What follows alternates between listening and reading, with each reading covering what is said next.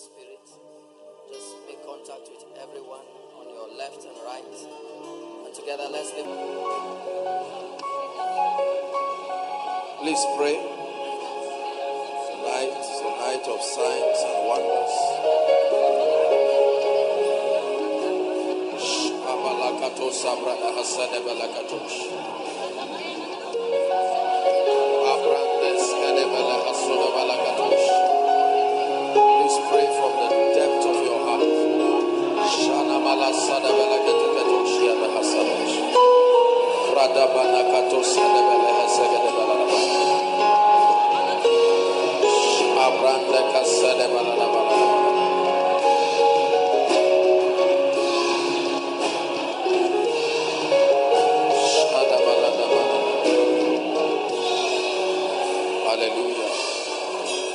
Praise the Lord. We're still praying. We'll just take one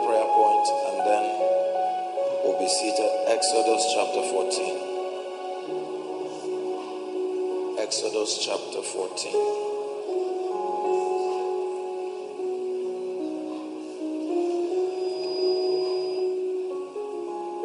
And verse 13.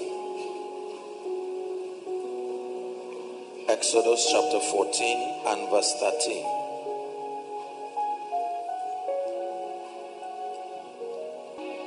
And Moses said unto the people, Fear ye not, stand still and see the salvation of the Lord, which he will show you today.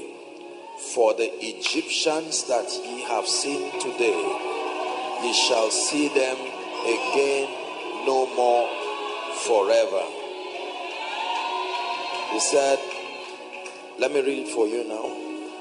And Moses said unto them, not God said unto them, Moses said unto them, the people, Fear ye not. He says, Stand still and see the salvation of the Lord, which he will show you when. When? Today. He said, For the Egyptians whom you have seen today, he said, Ye shall see them again no more forever. Hallelujah. Say after me in the name of Jesus. Please shout it. Say in the name of Jesus. I decree and I declare that tonight is my night for total deliverance. Lift your voice and begin to pray. Lift your voice.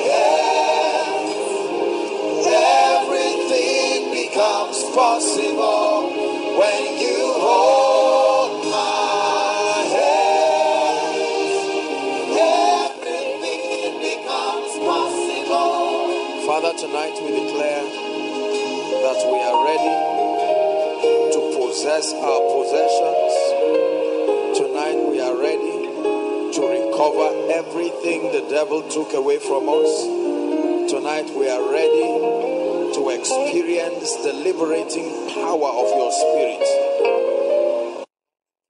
Our spirits tonight to receive, and we decree and we declare in the name of Jesus Christ, may the God of heaven rest upon this place tonight and let there be a mighty, mighty deliverance in the name of Jesus Christ. Amen. God bless you. Please be seated.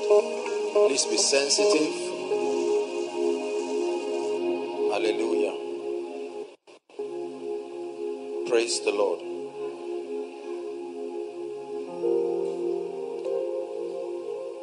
Tonight is the last segment of our deliverance series. Please let's have the anointing oil. Um, just come, keep them here in front. Hallelujah. And um, I truly prayed from my heart, trusting the Lord, that something will really, really, really, truly happen in somebody's life. Hallelujah. I have seen a life that Satan oppressed and I have seen a life that God gave victory to. The difference is as clear as night and day. In the name of Jesus Christ. Obadiah chapter 1 and verse 17. Let your spirit be open, let your spirit be alive. Hallelujah. There's so much noise here. Is it the fan? Please help me, technical. You will have to work on this. If it's the fan, please switch it off, please. I need to be. It's affecting me, please. Hallelujah. Obadiah chapter 1 and verse 17. It says, But upon Mount Zion there shall be deliverance. It says, And there shall be holiness, and the house of Jacob shall possess their possessions. We've been examining the mystery of deliverance, helping the body of Christ to step into supernatural levels and supernatural dimensions of victory in Christ. It is my personal conviction as a man of God that it is not enough to read your Bible and see the things that the Bible declares should be our inheritance, but that we must press through faith and understanding to a point and a realm in the spirit. Are we together? Where we will have access and walk in the experience of these realities. And tonight we must force this thing to work in our lives. In the name of Jesus. Three levels of deliverance. Let's get straight to the business of tonight. Um, the teachings are available, part one, two, and three. So, for time's sake, I may not go back doing any recap. Please bear with me. We have a lot to do tonight, and um, we're working to gain time. There are three levels of deliverance that I want to teach you, and in this teaching you're about to hear now is the reason why probably many believers do not gain complete deliverance. Most of the denominations that we have, um, in one way or the other, have engaged something related to deliverance. But the challenge usually is that we pick one of the three and I've shared with you again and again. As you know, I'm very sympathetic to the body. I'm sent to the body. So every time I talk about the body of Christ, it is not in any way from a standpoint of sarcasm. Are we together? Um, so as I teach you this, I pray that God will open your heart. And if you're a man of God, I'd like you to examine these things very deeply and find out where you probably may be missing it in communicating the power of God to deliver to your congregation. Number one, the first level of deliverance is the casting out of the spirit influences in your life and at the back of your challenges. the first level of deliverance has to do with casting out the spirit influences in your life and if not in your life at the back of your challenges behind every challenge is a spirit that sponsors its continuity are we together the first level listen very carefully the first level of deliverance has to do with casting out the spirit influences there are always spirit influences either in our lives or at the back of the situations and circumstances that challenge God in our lives. So the first level of deliverance has to do with casting out the spirit influences. I thought you would want to put maybe two here. Doesn't look like picture.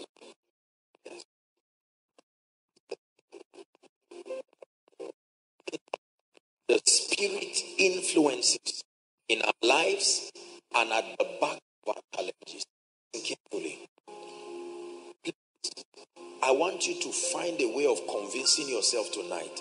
At the back of almost every challenge and every destiny pegged in one position, every family, every business, every career, every home is a spirit entity that is sent and assigned to ensure that that process remains that way.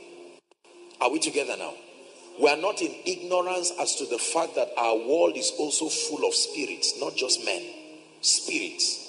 And that these spirits are also on assignment, just like angels. And that at the back of people's lives, and then at the back of mysteriously um, disturbing situations are spirits sent. Deliverance is not complete when the spirit entity that are behind the situations in people's lives are left there. This is where I think that a lot of people, especially people who value um, education and intellectualism and science to an exaggerated dimension, this is where we miss it. There are people today who will never agree that there are spirit entities manipulating the lives of people. And I find that disturbing because Jesus did not leave us in the dark. As to the fact that, in fact, I'll be showing you shortly that when he proclaimed the messianic prophecy that was upon him, are we together now? He went out and began to heal, and the first set of those he addressed were those who had devils there were spirits behind them. He met a woman who had been bound for 18 years. And the Bible says, He said, Woman, thou art loosed. Before he laid hands to heal her, there was a spirit behind her situation. These are the three doorways that granted it access. Number one, covenants. Number two, ignorance. Number three, disobedience. It is possible that a covenant is broken and the spirit still uses another channel to route your life. You must be aware of all the channels available. Are we together? So, number one, the first level of deliverance is casting out the spirit influence in your life and at the back of your challenges. I have ministered deliverance to people again and again and again. And I see this all the time I see the shock, like many of you have experienced, sometimes on the faces of the people, because they would never otherwise believe that there was a spirit influence. They saw them in a very strange way in less than one week. Your life just know, although there's a lot of argument among men of God whether or not there is something called deliverance ministry. Um, um, I, am not here to create argument, but I believe with all my heart, I believe in the full gospel, and the full gospel captures a dimension of God that is able to deliver. And we know that it is God's system to allocate graces to men. So I believe that it is possible. I believe from the authority of scripture that there is something called a deliverance ministry. You'll be foolish to believe in the healing ministry. You'll be foolish to believe in the evangelical ministry You'll be foolish to believe in the ministry of signs and wonders. We believe that there are people called to minister prosperity, to minister leadership.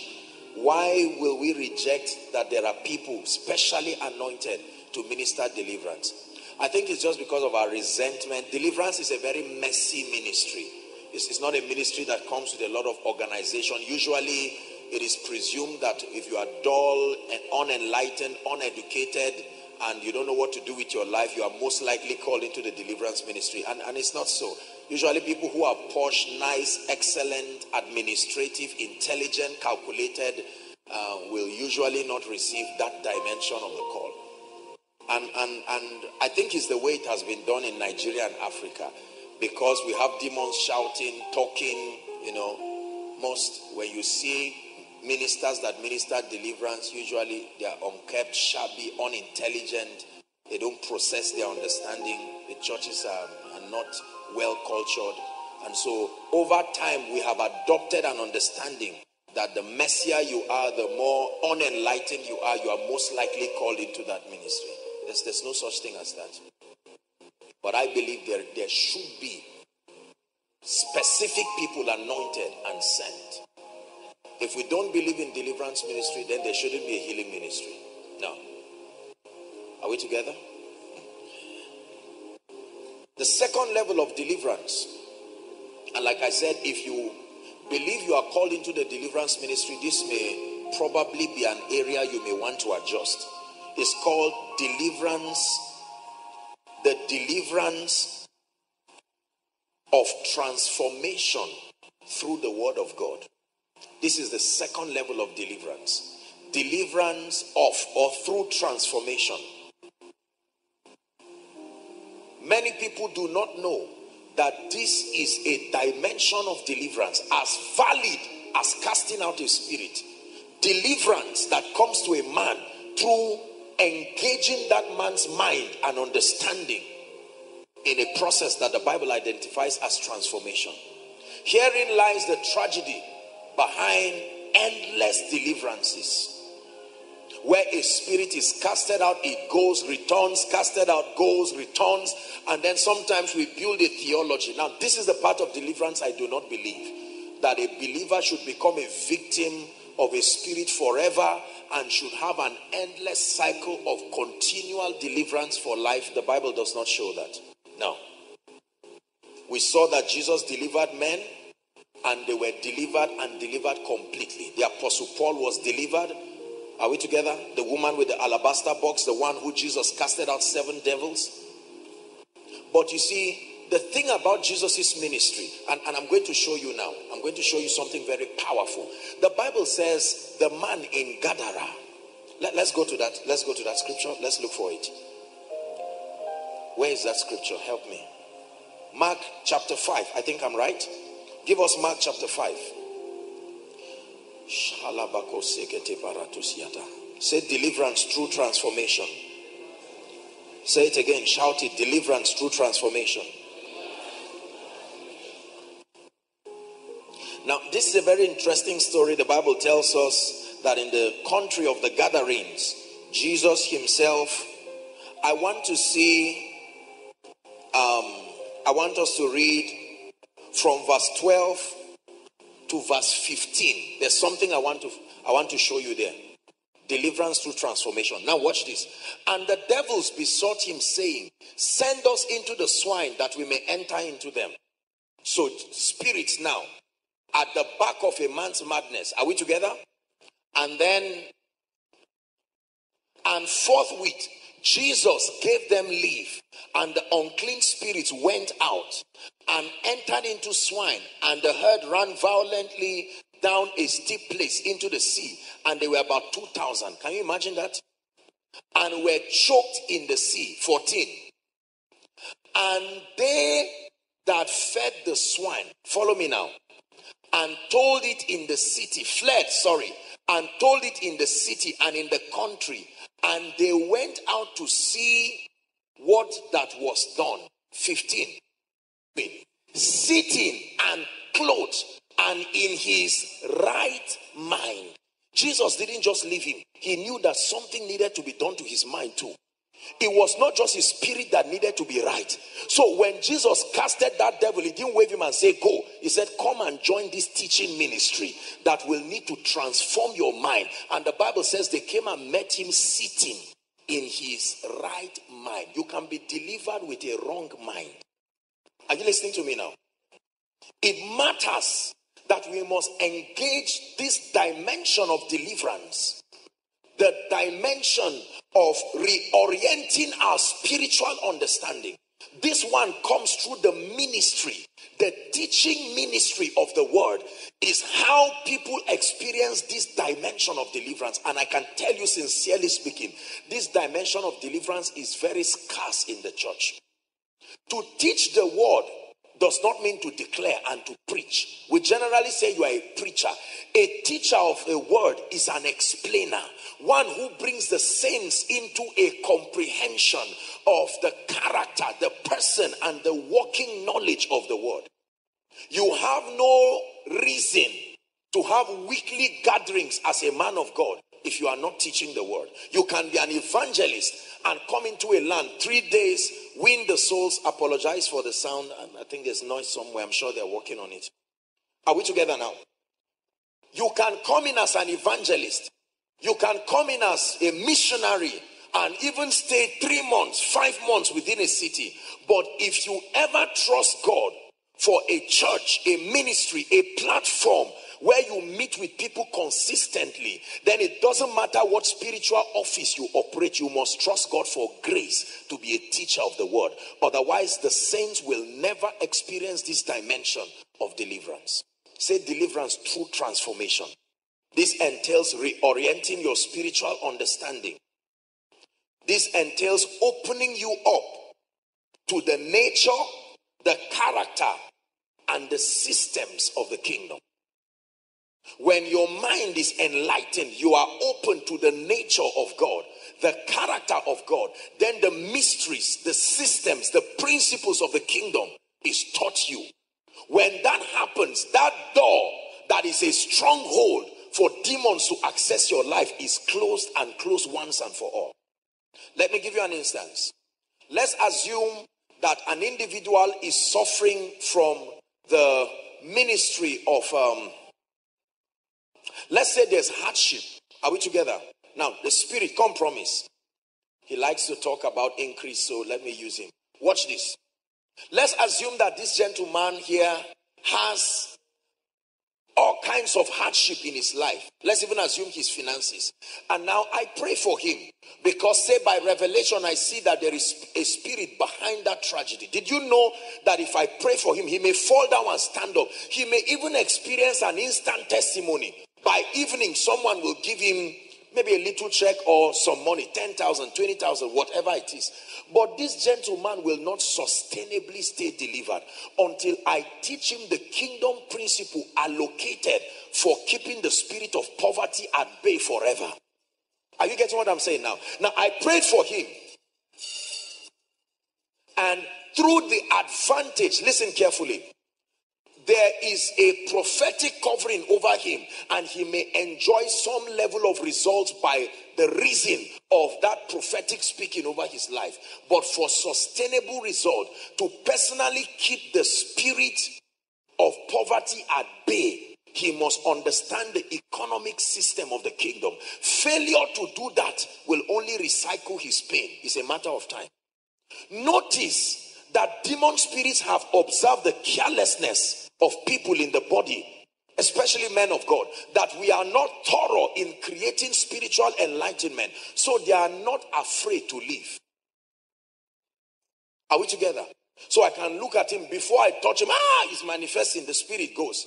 And he gets up and he's happy. And I hug him. I say, okay, so go and prosper. It is done. It is not done. I assure you, it is not done. Halfway done. That guy, remember the Bible says that spirit will go around and say, I will return to my house. He will come back and find the mental construction of that individual still conducive for his operation. He won't enter alone. He will gather more wicked spirits of poverty higher than him and then return to that man. That's why you find out that people receive miracles and breakthroughs. And two weeks later, it looks like everything just knows dives they refuse to engage in transformation. And sometimes it is members that put that pressure on pastors. They are not trained to sit down and receive the word. We want sharp, sharp everything. Are we together? Man of God, why is my life like this? I, I have watched with shock how that sometimes people can tell me, Apostle A, B, C, D is wrong with my life. And then I tell them, okay, listen to the following messages and then come and see me afterwards. Maybe listen to gaining spiritual stature, listen to this and that, and they just say thank you. And sometimes I can even point and say, the media stand is there. Just go there and they'll give you the teachings. They will laugh and do as if they are going to turn and then turn around, just greet and say, Sir, just touch my head. That's all me I want. You see that?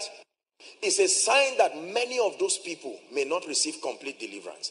And the danger is that if they don't receive it, they will go back and then in their frustration, they'll say, This man of God may not really be a man of God. Are we together? Have you been to the hospital where a doctor will give you an injection now? There's that one, you take it immediately. You turn and receive it right now. And then he can now tell you, okay, there's this drug. In addition to that injection, take this morning, afternoon, evening for five days. After five days, return back and let me look at your condition. Are we together? Now, if you take that injection, you can decide to go back and be careless. It's amazing how your health is dependent on those drugs. And then you don't take them, and after five days, you return and say, Doctor, something is wrong. And the doctor said, No. If you did what I told you, I already know what should happen. So I'm surprised that this is not happening. Transformation through the word. He came and met the man in his right mind. Remember that the man later became an evangelist and won the Decapolis, 10 cities, because his mind was right. The Bible says in Romans chapter 12, when you read from verse 1 and 2, specifically verse 2, it says, um, and do not be conformed to this world. I've taught you again and again, the Greek word there is the word aeon, the thinking pattern that comes with a dispensation. Do not be conformed to this world. It says, but be ye transformed. Everybody say, be ye transformed. It's not an advice. Be ye transformed. How?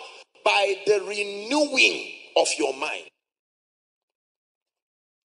Transformation, renewing your mind is deliverance.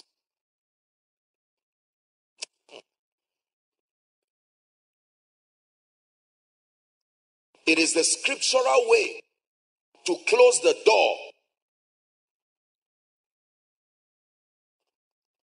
that authorizes spirit entities to find expression in a person. Transformation. Transformation. Transformation is the way you become spiritual. A spiritual man is just is not just one who prays in tongues. A spiritual man is not just one who serves in church. Listen carefully. A spiritual man is not just one who is ordained. A spiritual man is not just one who is serving in a department. A spiritual man is one who has exalted the word of God. Listen very carefully. And the ways of God above the senses. So that man is governed not by his sensory perceptions, but by the word of God. When the word of God becomes the vista, your, your plane of looking at life, you are a spiritual man. You can pray in tongues and ignore the word, you are not a spiritual man. Most times we convince ourselves that just because we find ourselves around dissipating spiritual energy, committed in spiritual activities, we believe that because we have done that for a long time, we are spiritual. No, that may be religion.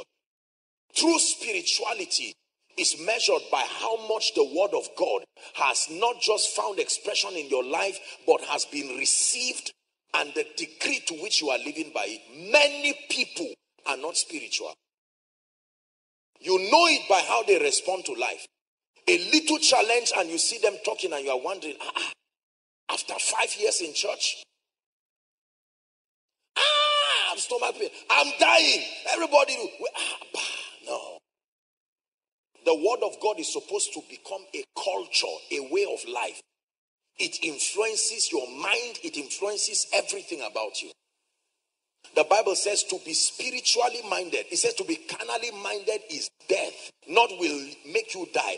Is already death, but to be spiritually minded is life and peace. It says, set your minds above where Christ is seated. Are we together now? You can set your gaze not by looking up, by indoctrinating yourself with the truth of God's word, such that you are immovable, you are unbendable. That's what it means to be spiritual. When you are transformed and you experience this dimension of deliverance, you now tear down the strongholds that operate in your life through thought patterns. Everybody say thought patterns. Please shout it. Say thought patterns. Check every territory where spirits seem to gain grounds. The way those spirits gain grounds is by making sure they create a mind control system so that the average person within that spiritual climate thinks in a certain way. I'll give you an instance, and please, I don't want you to feel embarrassed or whatever. I am not insulting any territory. But for instance, if you see a territory where there is a high rate of maybe people getting pregnant without marriage, you find out that it's not just a wicked spirit that is working there, there is also a mindset. Are we together? That a lady of 12 years can be pregnant and the father can say, I'm proud of you. I mean, I can't believe you did this. This is this is this is fantastic. Meaning by tithing, you have settled the devourer. Yet you find out that that man's life does not change. Call for any kind of meeting that will give financial intelligence, he will look at you and say, No, it's not for us. You can go, and uh, if God will bless me, he will bless me. So, mindsets. We come from different territories. Some of us come from territories where it is easy for anger to come because revenge is part of the way the culture is built. Don't let anybody take you for granted. An eye for an eye. If somebody touches you, give it back to him sevenfold as a sign that you are not weak. So in such cultures, if you don't revenge, you are you are tainted as being weak. So now you are born again. And a brother offends you, and there is that itch to revenge. And what a joy! A spirit has found a platform, and the spirit of anger comes. And before you know it, you wind your hand and give your wife a slap, and suddenly remember that you you you are supposed to have crucified the old man at the cross. Are we together? Listen, let me tell you. You know you are transformed when it takes a long time to trace you to a culture. Let me say it again. You know you are transformed. Aside from the physiological, the physiological features that can show that okay, you are Yoruba, you are Hausa, you are Igbo, you are South South, and all of that. Aside from that, there should be such a level of, of an excellent approach to life based on the word of God that if it is based on your communication, I should find a hard time knowing whether you are Yoruba or Hausa or Igbo. It's a sign that the word of God has superimposed your culture and your cultural limitation. Sadly, I can look at people and almost in a heartbeat just say, You are from here. Yes. You are from here. Yes. The way you are behaving, it looks like you are from Plateau State. Say, Yes, sir. Say, huh? They are all like that. The way you are, it looks like Kaduna Abi. You look to me like you are. Are you from Delta? I'm from Delta. How did you know? Ah, how do I know? Am I am I mad? That's not a very. That's not an applause. Are we together? Because it's a sign that although you claim to be in Christ experientially, you are still holding on to the strongholds and the mindsets. Are we together? That your transformation will so shock those around you. They looked at the disciples and they wondered, ah, are this not what what suddenly happened to you? They were so changed. One time they wanted to go back to this their life of war again. They said, Jesus, should we command fire? And Jesus turned and said, Do you not know of what spirit? You have suddenly forgotten that you are from heaven. Transformed. Someone will look at you and say, I know you are going to deal with him. I trust people from your place. Abba, this guy is in for a shock. And all of a sudden, you reach out to someone in love and hug the person. And you look and they say, This is strange. You say, This is not strange. I have been called out of every tribe, of every tongue. Listen to me, of every nation. Are we together? Yes. This is the basis. Let me tell you the truth. And I want to say something now that is, is a bit sensitive, but listen to me. I think that this is the reason why many people, especially our loved ones, fear certain individuals traveling or marrying or living across certain regions because they fear that based on the default experience, are we together now? There can be a problem there, and they are right, except for transformation. They are right. Are we together? So someone says, "Oh, I want to get married to someone from the north," and the mother looks and says, "Is this what? Is this how you want to repay me?" After after all I've done to you, this is this is, and then you now say, "Ah, the man is is, is even is that's why a small church has started a work." I say, "Hey, he's even a man of God." It may not be your father or your mother or your relatives' fault. They have observed through time that goodness, if someone within those regions accept the call, you accept the call and accept the stronghold that comes with that call too, and suffer and almost, you know. But then they are amazed when they see that there is an excellent mind. Hallelujah. An excellent mind that vetoes your background. Say, I've been called. Say it. Say, I've been called out of my tribe, out of my tongue, out of my locality. I come from heaven. I only pass through my geographic territory. If you don't understand this, then we are wasting our time this night because when we begin to pray, we are going to tell Satan, it is true that you oppress people from Plateau State, but I'm not from there. You see that? It is true that you oppress people who are Yoruba people. It is true that you oppress Igbo people. But I only pass through there. My origin. My origin. So you don't tell me, oh, this land was dedicated to this. You may be right. But ah, I have been called. Something called me out of that tribe and tongue. Let me tell you, the fact that whatever is in your territory is still affecting you is proof that it still recognizes your cultural loyalty. Like if you are a football fan, let's assume you're a faithful football fan of, uh, give me one club side. Let me not create trouble now. Arsenal. And you are so faithful that they have your number. Even when you say, I hate them, you can still get a text from them. There's a meeting tomorrow. It's a sign that they still recognize your loyalty, your fellowship. It's amazing how we keep saying we are not tied to these things, and when the spiritual text is sent, you get it. the devil says you can talk all your nonsense. As far as I'm concerned, I'm sending a general text of failure to anybody in this family, and you are shocked that it reaches you. I say, No, my phone, you shouldn't receive this. That's your business. Your number was in the database. Transformation. Transformation transformation. Transformation. To rush to God, receive instant deliverance, and run away from God is only implicating yourself. The Bible says the name of the Lord is a strong tower. Listen, he said the righteous runneth to it. It didn't say he runs in and then runs out and is safe. He runs into it and stays there. He that dwells, not he that visits, he that dwells. Listen, is the reason why many of our loved ones never receive breakthrough. They hate the house of God. So when they hear that there is a special program, they say, Well, since you insist, let me visit. And they come and experience the power of God. And then they tell them, Be planted in the house of God. Mm, all this church toss thing, I'm not, I'm not in it. Please. Then they go back. And then they find out that it's a matter of time. This spirit's coming. Let me tell you, if you are a pastor, this is one of the reasons why you should trust God to have crowds come.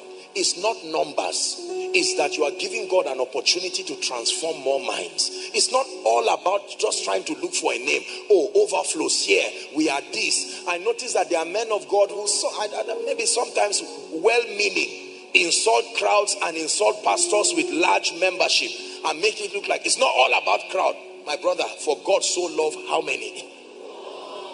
That sounds like a crowd to me. He didn't say, For God so loved Jerusalem. He didn't say, For God so loved Nazareth. For God so loved Judea. No. It is God's will that all men be saved. And then the Bible tells us that part of our ministry is to disciple nations. Have you heard that word? To disciple nations. To disciple nations come from the word discipline. To keep them in a position where they learn, to teach them the matters of the kingdom. You must receive an appetite for the word of God. You must receive an appetite. Members must learn the value of sitting with the word to be mentored and to be trained. I have great respect for churches where the average member already knows the usefulness of sitting down to learn. Martha, Martha, you are worried and upset about many things. One thing is needful, and that Mary has chosen to sit at the Master's feet. It takes time to produce results so that your mind is changed, transformed. Are we together? So, deliverance through transformation, and transformation by the renewing of your mind. The Word of God being the principal channel for your transformation. Are you willing to submit yourself to be transformed against culture, against the, the nominal mindset, the mainstream mindset that comes? Because let me tell you, you become more like Christ when you think like Him. That I'll forever be changing after you.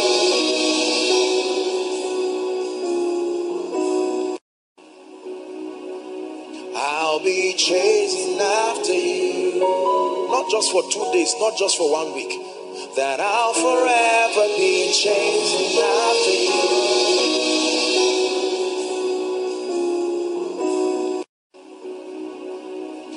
I'll be chasing after you. After his word and pant after his presence day and night. Chapter 1 and verse 8, Joshua, the formula that God recommended for success. He says, This book of the law. So, the foundation of a believer's possessing his possession this book of the law shall not depart from out of thy mouth. It says, But thou shalt meditate therein day and night. How long? Day and night. Say it after me. Day and night. That thou mayest observe to do all that is written therein. Then and only then shall you make your ways prosperous. Who will make his way prosperous? He says, and then you will have good success. This is God advising a man. Number three, so that we'll move to the next level. The third level of deliverance, and this is the final level, is called the discipline of conformity. Write it down. The discipline of conformity. This is where you actively participate. And this is where a lot of dear brothers and sisters around the world miss it. The discipline of conformity as a level of deliverance. Hmm. Romans chapter 8 and verse 13. And then we'll look at Galatians chapter 6, verse 8. Romans 8 13. One to read. Is projected. One to read. Let's start again. For if ye live after the flesh, I told you what the flesh is a way of living, a way of thinking. Are we together? It says, Ye shall what? But if ye through the Spirit, so you will mortify, but an agency will empower you. You are engraced, but the doing is you. I told you that grace has dimensions. Not all dimensions of grace work automatically. There is saving grace. You don't do anything, you just receive. There is grace that empowers you to do. You participate. The disciplinary dimension is your responsibility. If ye through the Spirit do mortify the deeds of the body, what will happen to you? Please talk to me. You shall live. Galatians chapter 6 and verse 8. Whatever you ask of me, I surrender.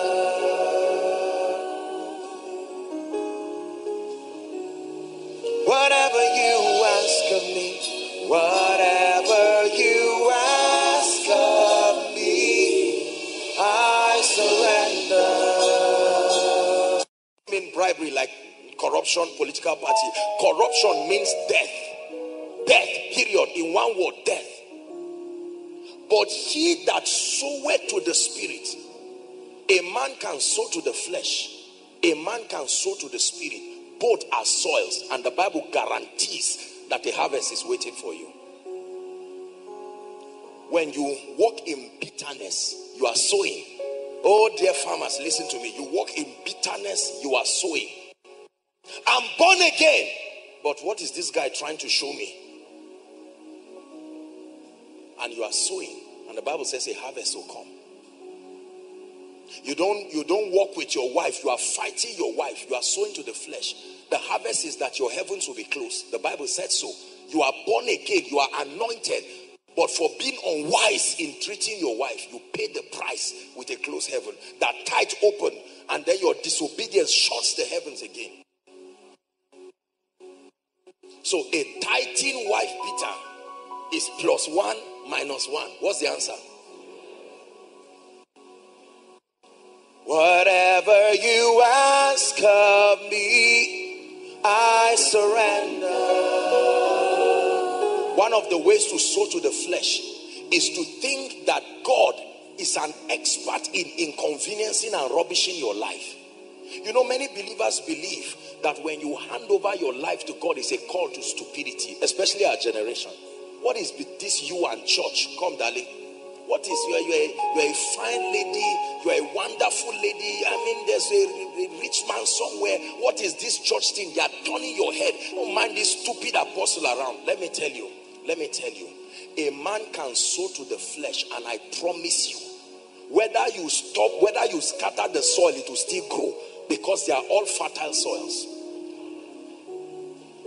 Could it be that many people, although the demons were casted, the discipline of conformity, discipline, the Spirit of God will empower you, but you must see the value of waking up in the night to pray as a principle that helps you confirm. Are we together? Don't sit down there and say, Lord, the grace is not there, it's raining. This night is so cold and you just fresh. You are not serious. You have to speak, you have to create your reality. Someone can meet you and say, My dear, you are a very beautiful lady. There is a bar around. God has granted you the grace. You use your mouth and say no. You can say, Well, let's see how things go. You have sown to the flesh. There is a harvest coming. When you get tipsy and a truck jams you, that's the harvest. Where you snuff tramadol and you lie down by the bridge and Mopol comes to carry you and they jail you for five years. What that's called harvest. Say harvest. Shout it, say harvest.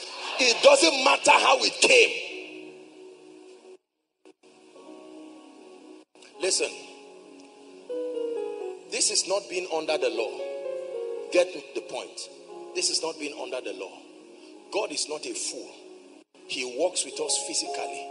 If God tells me to bless you, watch this now. If God tells me to give you 10,000, if I say, Come and collect, why do you come? Why do you get up and come and stretch your hand and say thank you? You are participating. It took discipline for that to happen. Are we together? Let me tell you this. God can speak and say, Pastor Alpha, you will be a mighty man. If you don't have the discipline of constraining yourself to conform to that word, you will keep seeing yourself raising wheelchairs in your dream till you die. You will never see it. There is nothing in the kingdom that does not require discipline. He said, He that warreth is not, he that strives for mastery, he said, is not crowned except he strives lawfully. There is no gift of fasting. Hello? Have you ever seen it in the Bible? There is no gift of whoever lied to you that fasting your stomach will not. You hear all kinds of noise while you are praying. You have to choose between the noise and your destiny is the discipline of conformity. Lord, if I stop fasting now and this grace goes down, what of the people that will be blessed? No, I receive grace, I will pray. You think those who get up in the night and pray and those who fast, just a, a supernatural wind just blew somewhere? No, sir.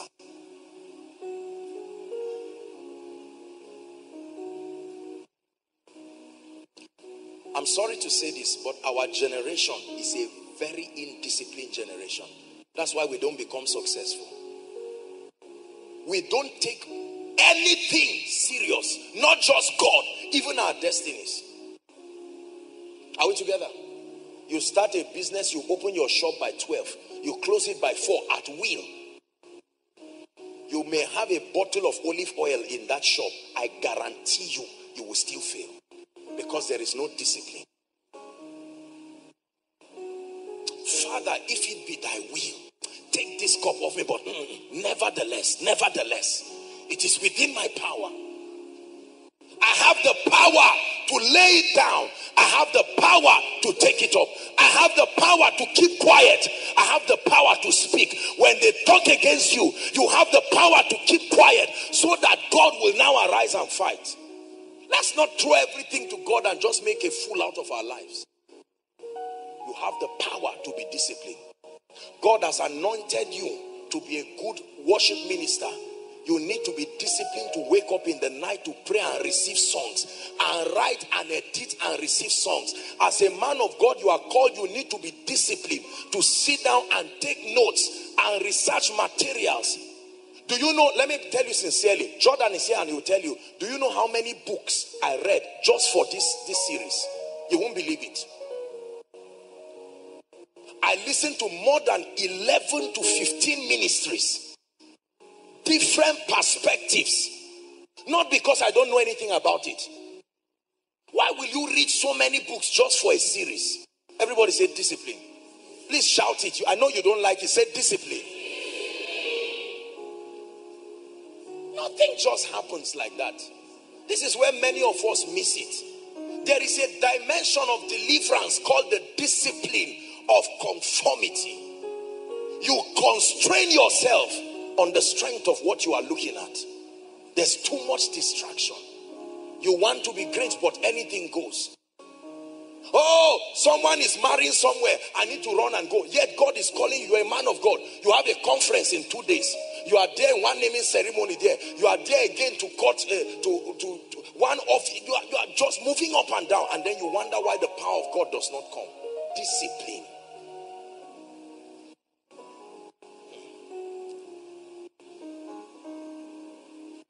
There are times I'm so tired, humanly speaking. Let me tell you. Sometimes you see it. I can be so tired. The last two weeks I've been ministering every day back to back. You think if I have if I have my way, what do you think I, I want to be doing now? Just find somewhere, somewhere, and and throw away my phone and, and shut my ears and sleep. It's called discipline. Yes, there is grace, but let me assure you, if you are not disciplined, you are abusing the grace of God.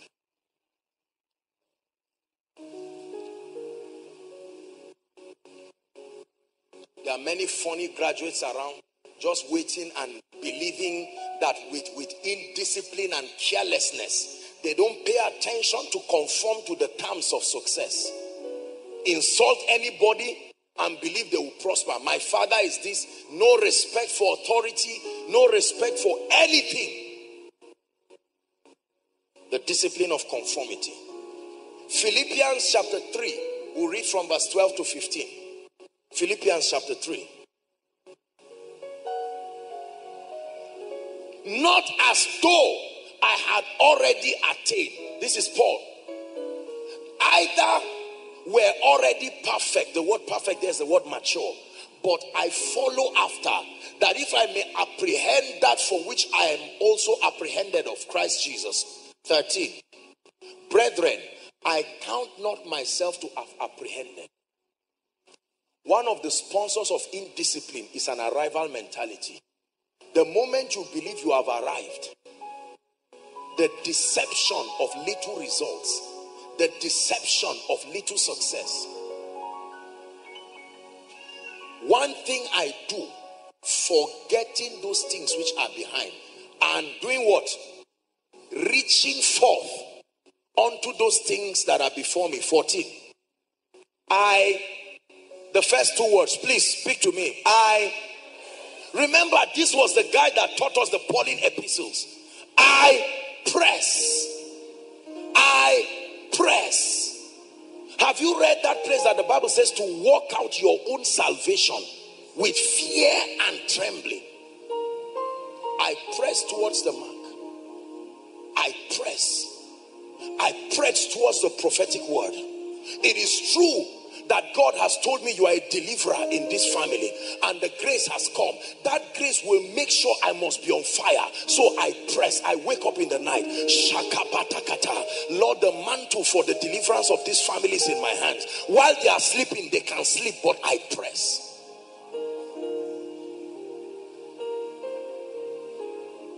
Let every other name fade away. Let every other name fade away. Ah. Let every other name fade away. Listen. Listen. It will take you engaging prophecy through discipline. Otherwise, it will never come to pass. The ministry you have seen in the spirit, no matter how many demons are casted out of you, if you don't cooperate with the spirit to, com- to conform, you will never have it. You can sit down and see yourself building building an estate. I saw an estate and I saw a spirit behind the estate. Apostle Joshua Selman can say, In the name of Jesus, that spirit go. The spirit has gone. But you do not sustain the discipline to sit down. That discipline may mean upgrading your mind. That discipline may mean you sitting and speaking every day. That discipline may mean you telling certain friends, Look, I'm in a new season. I love you. I know we're from the same background, but honestly, I must leave you now. Discipline, I can tell you this from experience. You will never do business with God if you ignore discipline. I think. Don't just think, no, you have a right to do whatever you want to do. It takes discipline to sit down and count the money and say, In the name of Jesus, I know that I, I have what it takes to complete this nice shirt, but in the name of Jesus, I choose to say no. I love my tomorrow more than my yesterday. I love my tomorrow more than today. Spirit of the living God, I will, I will, I will walk with you. I discipline myself. It's better to be hungry today than to eat tomorrow's food today. Are we together? The next time you admire someone with a mighty hand of God, let me tell you, among the many parts of the equation, don't just say he's lucky, there is discipline. I say this with all humility and not to brag. When I stand here by seven, I leave here by 12, almost every Friday. It takes discipline. Do I have to do it? If I say I'm not seeing anybody, nobody's going, they will even say, Apostle, you have tried. I come and stand here and I go back home and it's not sleep that I'll sleep. Sometimes by five, I have to be up to catch a flight. Say discipline. Don't just say, God is increasing these people. Discipline. It takes discipline to see God's money and leave it there. Really rest upon your shoulder. I remember a few years ago, we went to a particular hotel, very nice hotel, went for administration.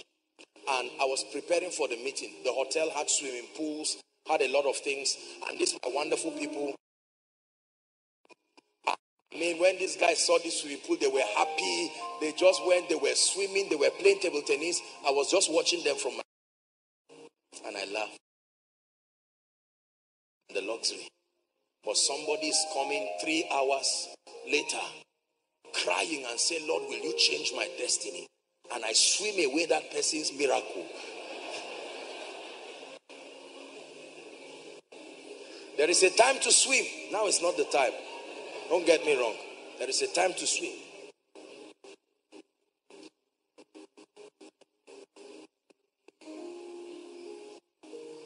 Are we together? Discipline. There are times that I go to minister somewhere and they prepare a very serious honorarium. And God says, Don't collect it. Bless the people. Say discipline. It takes discipline to obey. Lay your hands on your head and say, Lord, take in discipline out of my life forever. Pray.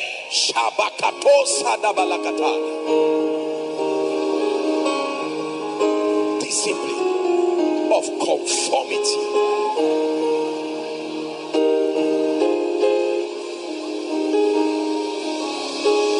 Grace to take my destiny seriously, the grace to take my assignment seriously, the grace to take the destinies of others seriously. That through discipline, I can cast out devils from my life. Discipline in waking up early, discipline in studies,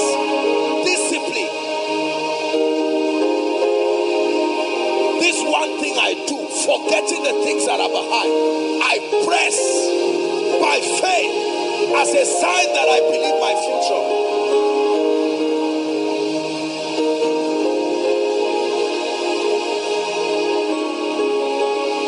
Hallelujah. Listen, please sit down. Thank you. If these three levels of deliverance doesn't happen to you, forget about possessing your possession the spirit may be casted out, but your mindset will allow it to stay. Do you know, for someone, you don't have any spirit in you, but this is the access point. For others, just discipline. God told you that there is something you have to read in a book. You bought that book since January till today, and the Spirit of God is waiting for you and you are saying, Lord, you've not brought your word to pass, and God said, No, no, no, no. I answered you since January. The indiscipline to sit down. I will go to Jordan's bookstore tomorrow. Uh, Jordan, is this book around? It will arrive next week. You don't follow up.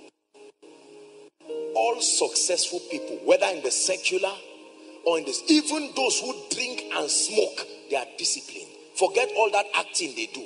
They are very disciplined. Discipline with money there are people like that. God has casted the devourer, but in discipline. You collect a salary of 30,000.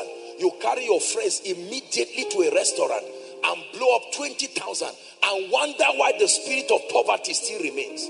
Discipline. As a student, you are wearing a weapon of 10,000, 20,000, and all your parents give you in a month is 5,000. Same discipline. That's right. Indiscipline. I don't cook, you are a student. I don't, it's not, um, it's not my thing. This, this, our pride is what in Africa, especially, is why these spirits never let us go. What of our parents? The discipline of getting, oh, sir, um, God is going to touch you, but can you be disciplined and just wait? Um, I'm not, mm, I, can't do that. I can't. I, I, you want life to bless you at your own terms. That's a joke. who for the joy that was set before him, what did he do? Endured. Endurance takes discipline. Have you seen people in a gym? Someone in a gym trying to work out. Have you seen people laughing in a gym? Except if they are producing videos for you to buy. But if, if they are in a gym, meaning carrying all those things, look at the world heavyweight. Their faces become ugly and yet they are determined. While he's doing that, he's seeing the trophy already. You need to see something that gives you the strength to not be distracted. And we will never settle for less. We know there's more that's found in you. And we will never settle for less. We know there's more that's found in you. Hallelujah. You see a pattern in your family where all the women marry terrible and unserious men. Watch this now. Now it is true that you have been delivered. That spirit was casted out. Are we together? Please hold on. And then God now helps you to think well. And then God says, Wait until my will comes. What does He tell you? wait until my will comes. But in discipline, your body is itching. All of a sudden, one irresponsible guy just appears from nowhere and says, um, uh, You know how things are. Don't keep waiting like this. And you stand, and God is telling you the choice is yours. Do you know? If you get up, you know the man is smoking. You know he's drinking. He says, I don't smoke all the time. Once in a while, I say, okay, I can make do with that. Remember, you are making a choice through indiscipline. And God is watching, but I'm supposed to deliver you. I'm, I'm bringing you out. I'm using you as a specimen. And you say, God, I can't wait again. Please, I can't wait. If, if by March or by, by August, this guy, whoever shows up, the devil say, What did you say? Fine. Whoever shows up, and he will just go and drag one funny guy. And just because the guy is in church and he wore a tie and, and talking with belt does not mean that he's serious. And before you know it, through indiscipline. Are we together now? Through indiscipline, you now say, Yes, I will marry you. Your father will say, I'm, I'm sensing that you are in danger. I say, Daddy, don't worry about me, please. Age is not on my side. And you marry and you find out that the same thing that happened to your elder sister has now happened. It was not the spirit, the spirit was casted. You paid the price to get a correct mindset. The information for your deliverance has been given, but the discipline of conformity was not there. Shout, I will wait. One of the hardest things for believers to do is to wait until the hand of God comes to assist you. This is not just in the issue of marriage, in the issue of job, God says, Stay, I will direct you. The next thing you just hear that, okay, there's something somewhere. And you say, Kai, I don't, I'm ashamed. The last time I went for a wedding, I saw all my classmates. They were all in cars. And me, they were even asking, What are you doing? Pastor, you are still like this. And the next thing you jump. When when the devil wants to destroy some people, he will make sure you get visa to US. Whereas your the will of God for you is in Nigeria. And you smile your way to US out of the program of God. It takes discipline. It would never have been my desire to be in Zaria by this time. No. Oh God, you are my God, and I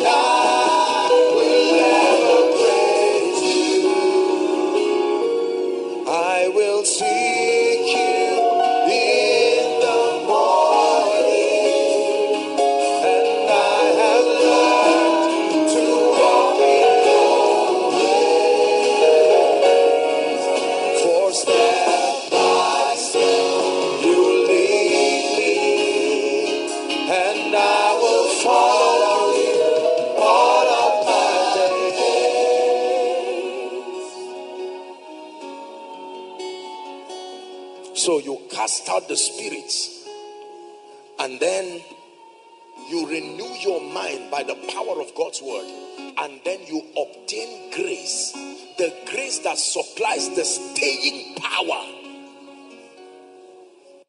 Many are the devices in a man's heart. He said, But the counsel of the Lord, that alone shall stand. There is a way that seemeth right unto a man. It takes discipline to stay. God, do not let us go from here. Well, we know what Egypt. Uh-uh. Do not let us go from here. If your presence will not go with us, we are not going. And I'm sure they remain there. And God said, These guys are serious. So please be careful. We have we have lost respect for the discipline of waiting till God speaks. Gone are the days where people can beat their chest and say, I know God spoke. Today, now people over intellectualize everything and we keep crashing and making nonsense out of our destiny you must cry for grace. Lord, if I would die here, let me die waiting for you. And God said, You are doing this for me. You can put your ego on the line for me. I will arise for you.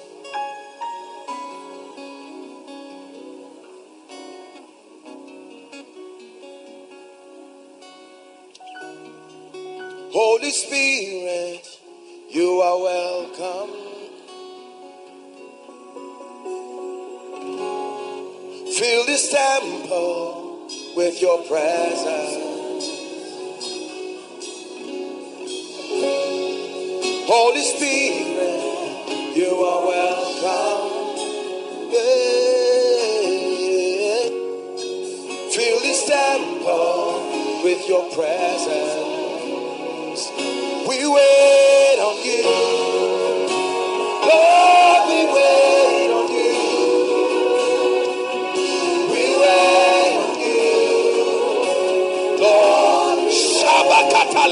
Shabakatala Kato Shabarata. We wait on you. Lord, we wait on you. I wait on you. Lord, we wait on you. Please sit down. Let's hurry up. Experiencing complete deliverance. Write it down. Be sensitive now. I prayed for a very strong angelic manifestation tonight. And the Lord told me that once I got to this topic, just this experiencing complete deliverance, there will be very mighty angelic activities.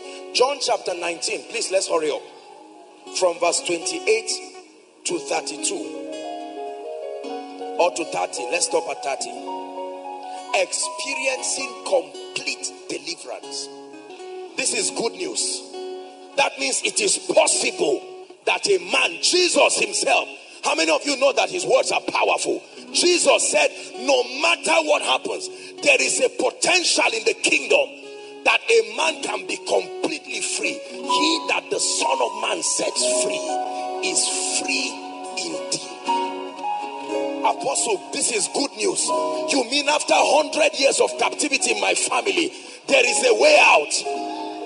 That there is a way out that I can say it is finished. Finally, the chain of barrenness. Finally, the chain of poverty. Finally, that people don't rise in this family. That there is a curse and a yoke.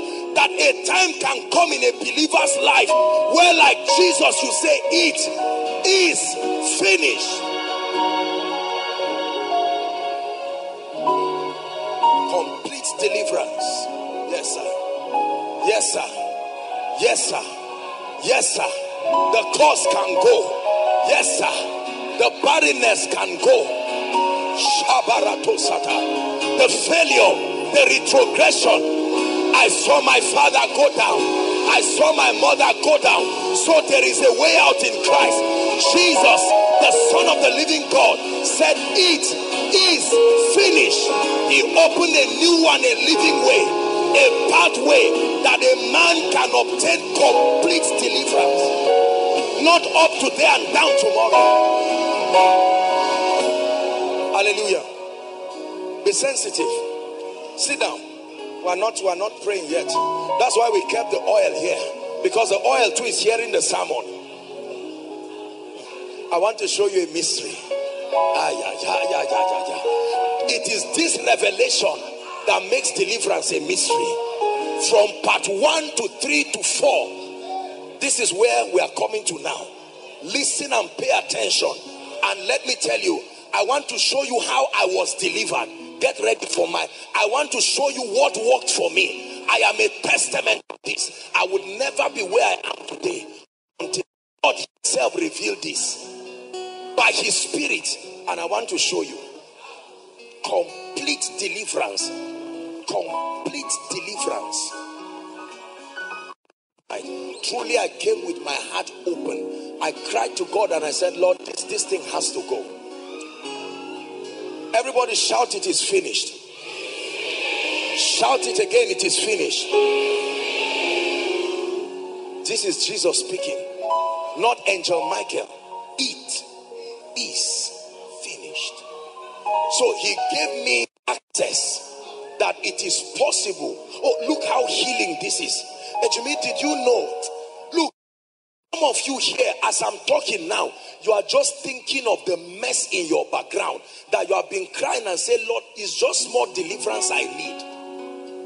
Hold on. Some of you here, I've counseled you. you come from backgrounds where your parents were priests directly. Not that they went to priests directly.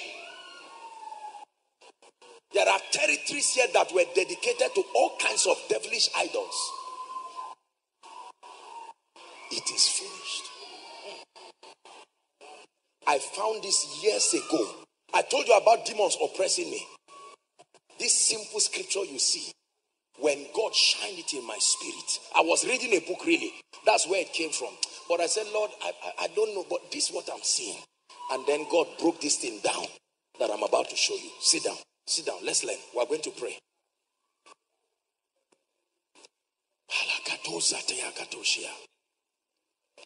Experiencing complete deliverance.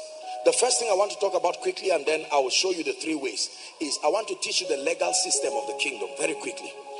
The realm of the spirit is a legal realm. Please listen carefully.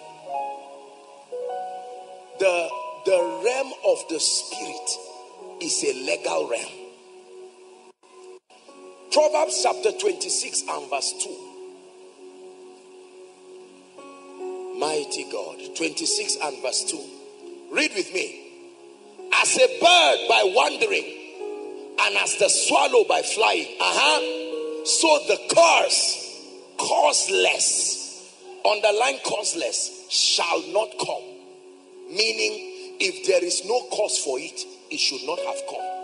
If you ever saw any limitation in your life, there is a system of authorization because there is a law in the spirit that when a thing does not have a reason to come, it does not come. So the barrenness, the failure, everything has a reason. A curse causeless cannot come. If it ever came, something authorized it. There is the legal system of the kingdom. Redemption, as we know, was done on legal grounds. Jesus did not just come. The Bible says the soul that sinned, it shall die. Is a law. God himself had to submit to that law. Are we together? It says, without the shedding of blood, there is no remission of sins. So the Son of God did not just become a man and came to the world. No. The Bible says, by one man, sin entered. So it could not take a spirit to save men, it had to be a man. Jesus had to be a man. I want you to see the legalities that the Son of God went through. Are we together? Jesus had to be 30 years to start his ministry because in Jewish custom, if you were less than 30, you were not considered a man. So it wasn't about his spiritual life. He had to wait and go through it until he was 30. Jesus could just fall from the sky. Like Elijah, that people say Elijah the Tishbite. But Jesus had to grow in a woman's womb and was born and cried and could die and grew from a young baby to a young child, teenager, adult, and all of that. He passed through it. There is a legal system in the kingdom. Let me show you something. Isaiah 41, verse 20 and 21. The verse of emphasis is 21. Isaiah 41. That they may see and know and consider and understand together that the hand of the Lord has done this and the Holy One of Israel has created it. Read 21 for me. One, two, read. Uh huh.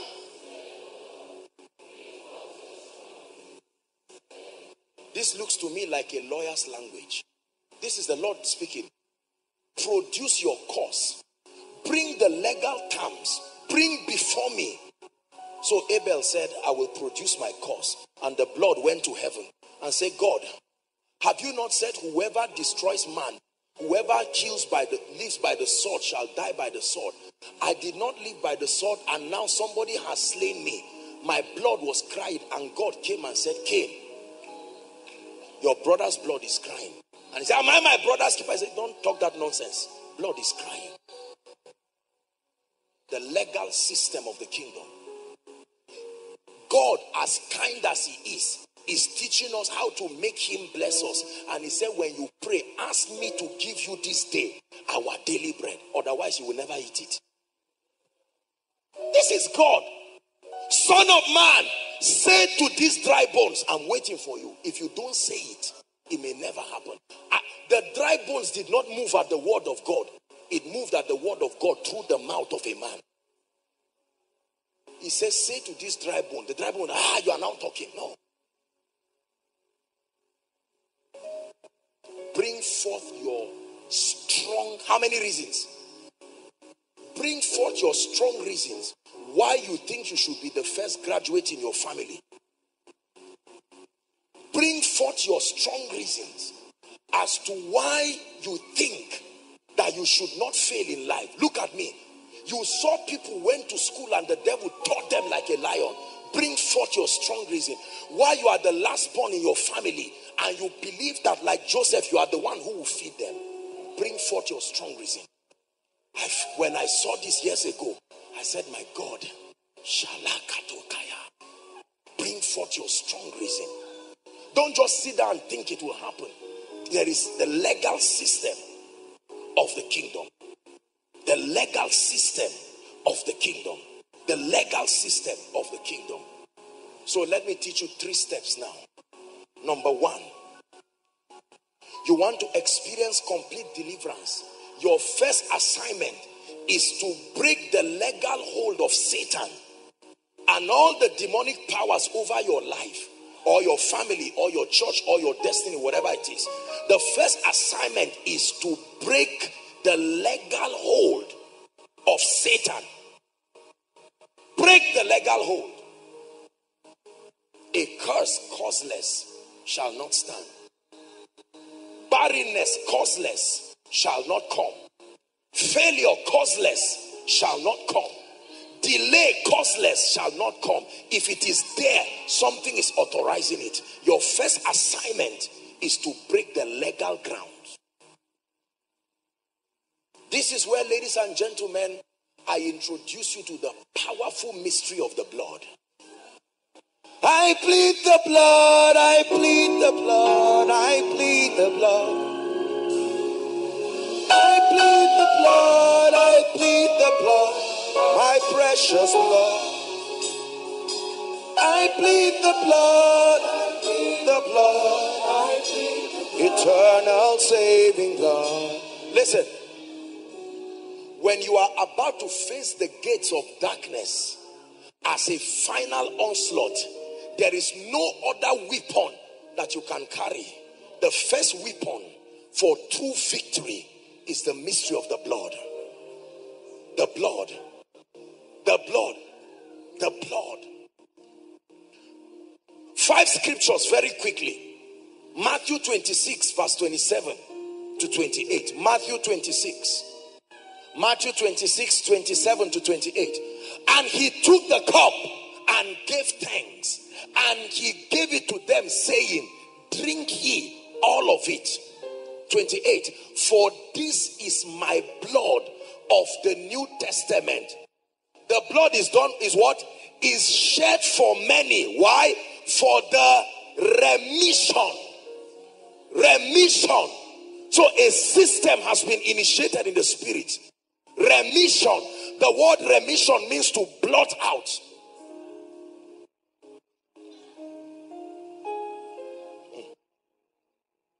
Ephesians chapter 1 and verse 7. Ephesians 1 verse 7. Then we look at Colossians 1 14. Read with me, please. 1 2 read. In whom we have redemption. How? So, how does redemption happen? Please talk to me. Redemption. Redemption through the blood. The forgiveness of sins. It didn't say the forgiveness of your sins. It doesn't matter whether it's your sins. Our fathers have sinned. There is a system. I used to think he said forgiveness of your sin. No. There is a mystery of atonement. Notice for those of you who cast out demons, sometimes you see those, they just shout and talk, I won't go. No, no, no, no, no, no, no. The blood for the forgive, whatever ill To sin means to miss the mark. Whatever happened around my life, whatever happened around my lineage that authorized darkness, there is a system of atonement. According to the riches of his grace. 1 verse 14, Colossians. Colossians 1 verse 14. Once again, in whom we have redemption through his blood, even the what? I hope you know there is a law in the spirit that when you see the travail in the soul of your offender, your heart will be appeased. Look at this. Come, Shehu. If Shehu steals my handkerchief and they catch him, my satisfaction is in his punishment. Is that true? As they punish him, I now feel appeased. If they don't punish him, I feel bad. So the Bible says he shall see the travail of his soul. Who is the he? Not Jesus. Man in Christ. Because it was at the point of exchange. We offended the Father. And according to this law, there is a requisite level of punishment that must appease the heart of the offender. And Jesus said, instead of you and your father, let me stand in for you. So while they beat him and blood came out, the father watched, took his face away. And then the Bible tells us that he was seeing the travail. That means the yoke and the ordinances that they did. Remember, they murdered missionaries in your village. And ordinarily, until these things happen and they kill everybody based on that because their blood cries. But then God in heaven will see those who offended the grandfathers that made the curse to come upon the family in Christ, the travail. And the father says, That's enough. I set you free. It is finished. Redemption through his blood, even so there is a kind of redemption called the forgiveness of sins. That your wrongs, your sins, if sins are forgiven, then the consequences they bring are also forgiven. And the authorizations they give is also forgiven. Are we together? Revelation chapter 5. Just follow me closely. Jesus grant us grace tonight. We have to be fast. Revelations 5, 9, and 10. Quickly, please. Revelations 5, 9, and 10. And they sung a new song, saying, Thou art worthy to take the book and open the seals thereof. Uh-huh. For thou was slain and has redeemed us unto God. How? By your blood, out of every kindred and every tongue and every and every these are the four realms where causes exist. Look at this. Please go back to verse 9. Out of every kindred, every tongue, every people, every nation, everything was covered. We were redeemed by his blood. I hope you know that God ensured that Satan participated in the death of Jesus. That was the only way that the blood of Jesus could haunt him. When Cain killed Abel, who did Abel's blood haunt? So whoever killed Jesus is the person who the blood of Jesus should haunt. Had they known this, they would not have crucified. Who are the they? Satan alongside the principalities and powers. Satan, God made sure in his wisdom that they all participated in the death of the Son of the living God. And then verse 10, he says, He has made us a kingdom of priests unto our God, that we reign on earth. The last scripture, Revelation chapter 12 and verse 10 to 11. Popular scripture.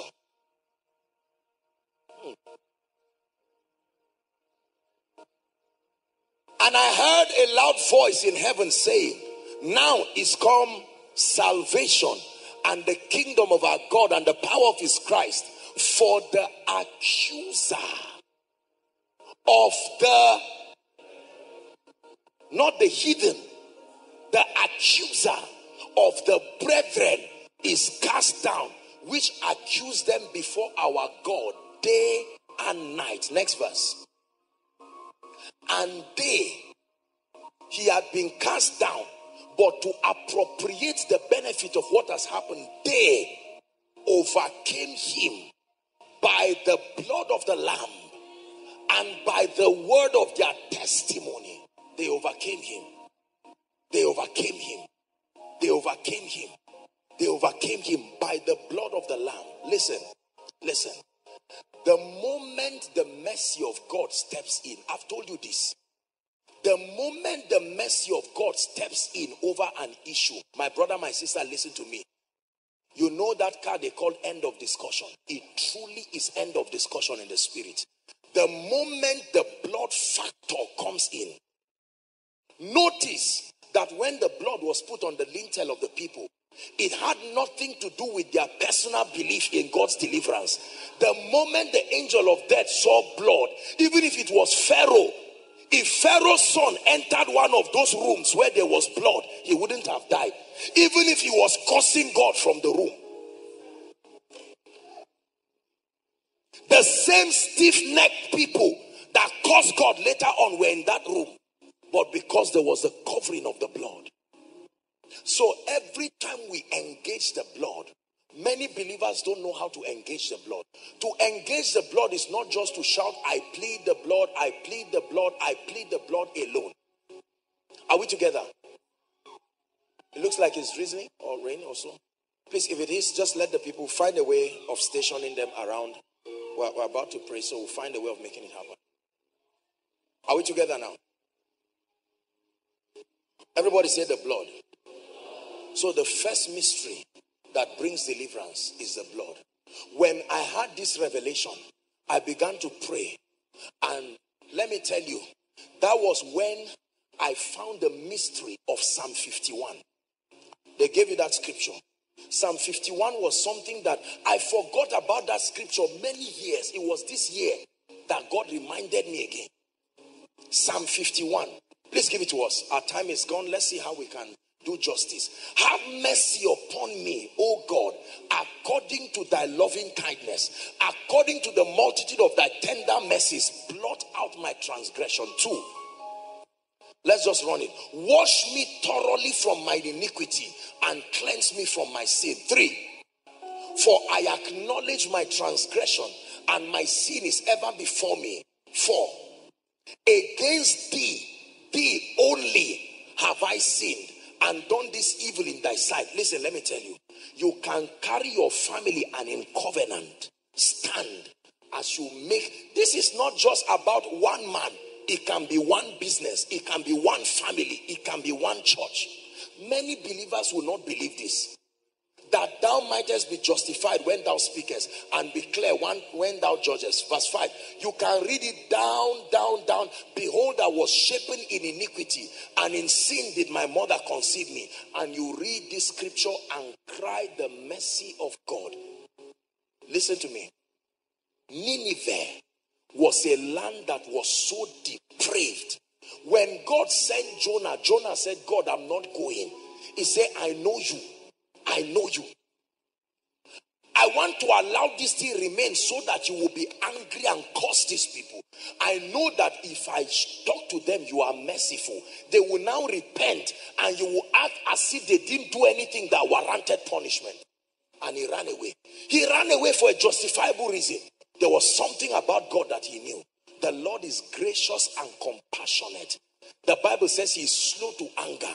So if my father or my mother went to sacrifice a baby and drain the blood to send me to school, and now there is a spirit that stands on legal ground, I can stand before God and knock on the door of mercy and say, Lord, I know that the soul that sins, it shall die.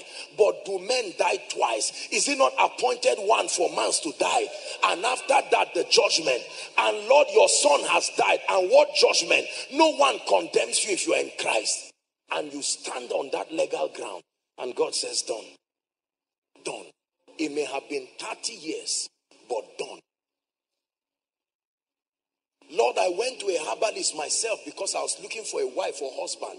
Lord, I went by myself. I wanted to pass exams. I went to Zaria City. I went and did this and that. Lord, I know that I did all of this. And you stand before him, and then the blood speaks. Every time the Father sees the blood, Satan sees judgment. Every time you point the blood, to plead the blood does not mean to chorus it like a charm. To plead the blood means to bring to remembrance. It's not just saying, I plead the blood. To plead the blood is a revelation.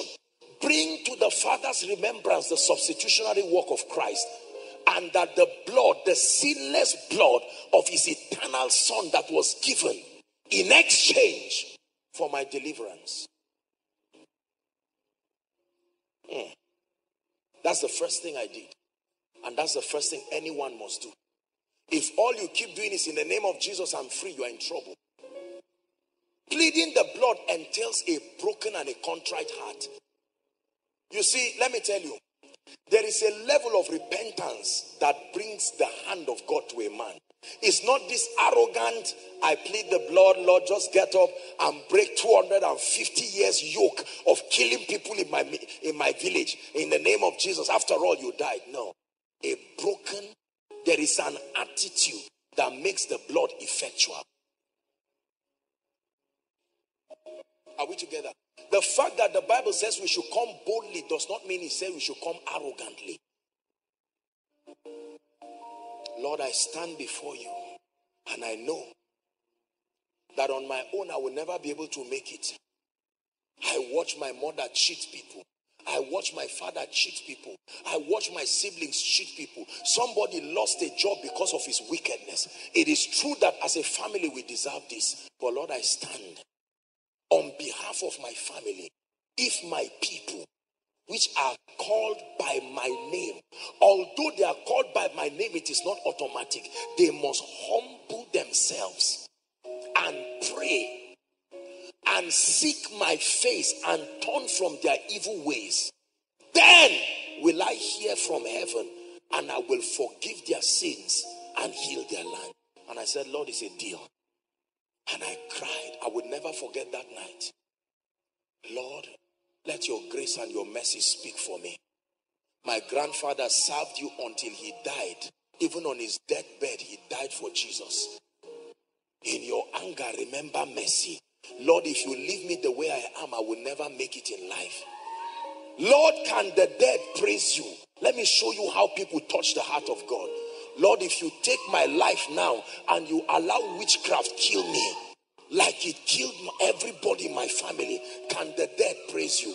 Lord, if I give birth to children out of witchcraft, you are presenting your strong reasons. Lord, is it not you that has said you are a merciful God? I stand before you without argument. And God arises from heaven. Many believers do not know how to touch the mercy of God. It was the psalmist that will write everything he did on behalf of Israel and say they should make a poem out of it. Let us with a glad soul mind praise the Lord. He said, For his mercies endure. He's ever faithful, he's ever sure. He will even say, Selah, think about it. I didn't go to God with a bold face as a man of God to say, God, let me tell you something. My grandfather was a pastor. I love you. I, I, I don't drink beer. I stand before you in my self righteousness. Is that pride that kill people? someone must go down on his knees and say, Lord, a cause causeless shall not stand. There is a reason why we are failing in this family. There is a reason why doors are not opening in this family. And Lord, I stand before you. Who else will I run to, oh God? Will you let men see? Be like the saints of old. They knew how to talk to God. Lord, will the living, will the dead praise you? If you pay me, if you do this, do you want them to say you brought people out of Egypt but could not take them to the promised land? And the Bible will say God repented. Have you heard that he said, Come, let us reason together? That tonight someone can say, God, will the unrighteous and the righteous receive the same reward? What then is the value of your blood? and you would think you are joking and God is listening to you. Lord, is it a crime that I came from the north? Must I fail the failure? Is it a crime that I'm an Igbo man? Must I feel that failure? Is it a crime? I came from a Muslim background. Now I'm born again. It is true that I went to all kinds of alpha and the rest. But Lord, will I receive the recompense of sinners? Bring before him your strong reason and cry for his mercy. I did that. You appropriate the mercy of God in your life. Number two, in complete deliverance, you cannot downplay the power of words. Write it down. The power of words. Your words are a vital tool in establishing the victory of Christ over your life and situation. Matthew chapter 22 and verse 37. Please let's hurry up. I already sense fire burning in this place. We'll do this thing very fast and we'll pray. Mm. Matthew chapter 12, verse 37. Jesus said unto him, Matthew 20, chapter 12, 12, verse 37. Matthew 12, verse 37. For by thy words thou shalt be justified.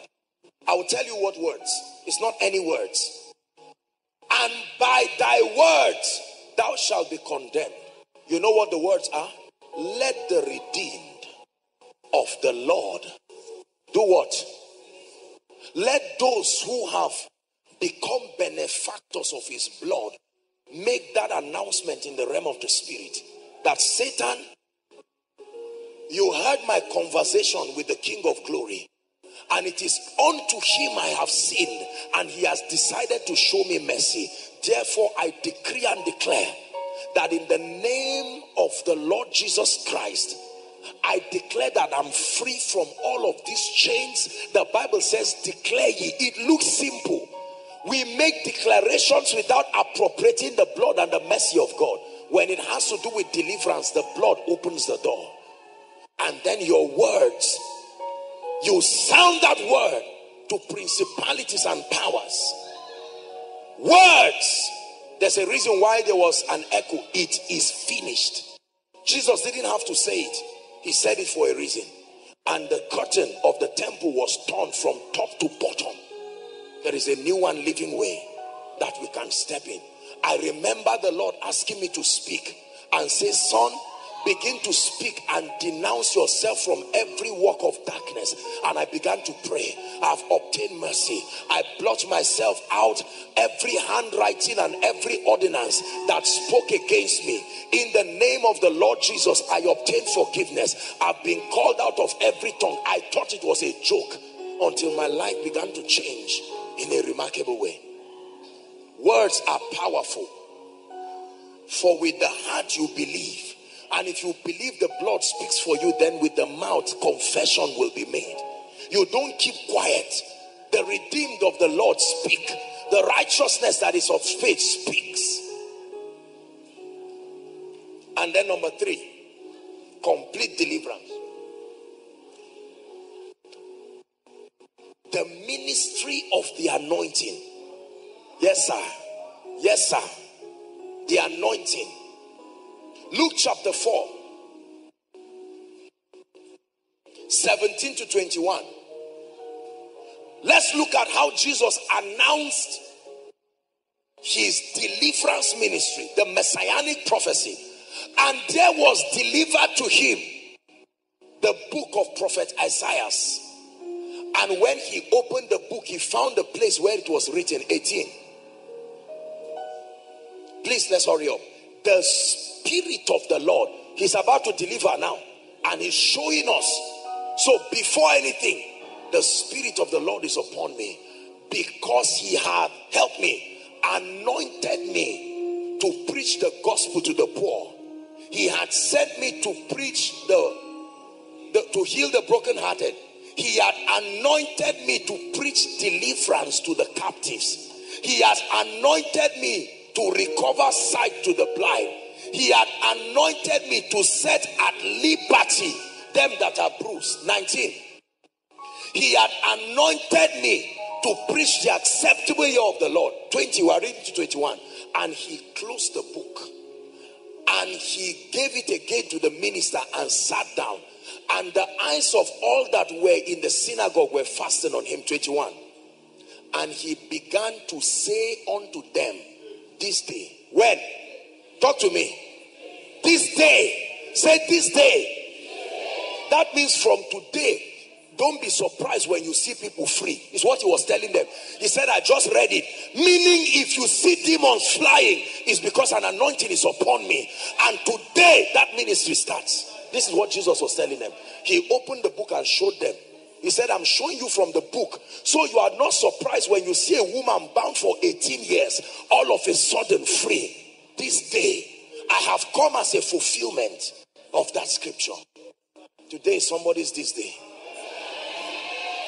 Because the book has been opened, it is this day. The day the book is open, that's your this day. The Spirit of the Lord. Because He had anointed me. Anointed me. Isaiah 10 27. Isaiah 10 27. This day, this day, this day. And it shall come to pass when Notice that everything happens in a day. It shall come to pass in that day. What day? The day your faith chooses. That day, the Bible says, if you if you hear his voice this day, there remaineth a rest for the people of God. That his burden shall be taken away. Somebody will come and carry it away. That means it never will belong to you again. Notice two things that will be taken a burden and a yoke. And the Bible says, and his yoke from off thy neck. It say, and the yoke. The yoke shall be destroyed, not because you are tired of it, because of the anointing. There is an exact anointing that breaks yoke.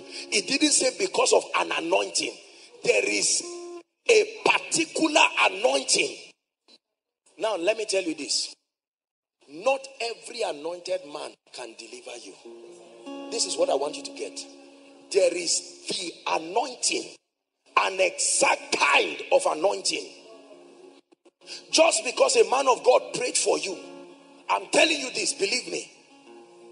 There is an anointing specifically ordained by God. The same way there is an anointing that prospers, the same way there is an anointing that heals, there is a dimension of the anointing that is allocated for detonating yokes. Hmm. Like a bomb that is supposed to scatter somebody that was put by a wicked man somewhere, and you come and do something to it, and then it becomes like toy like a piece of paper.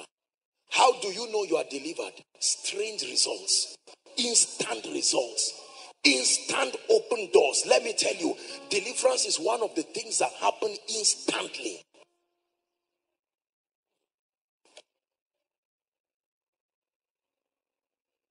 My life changed like day and night.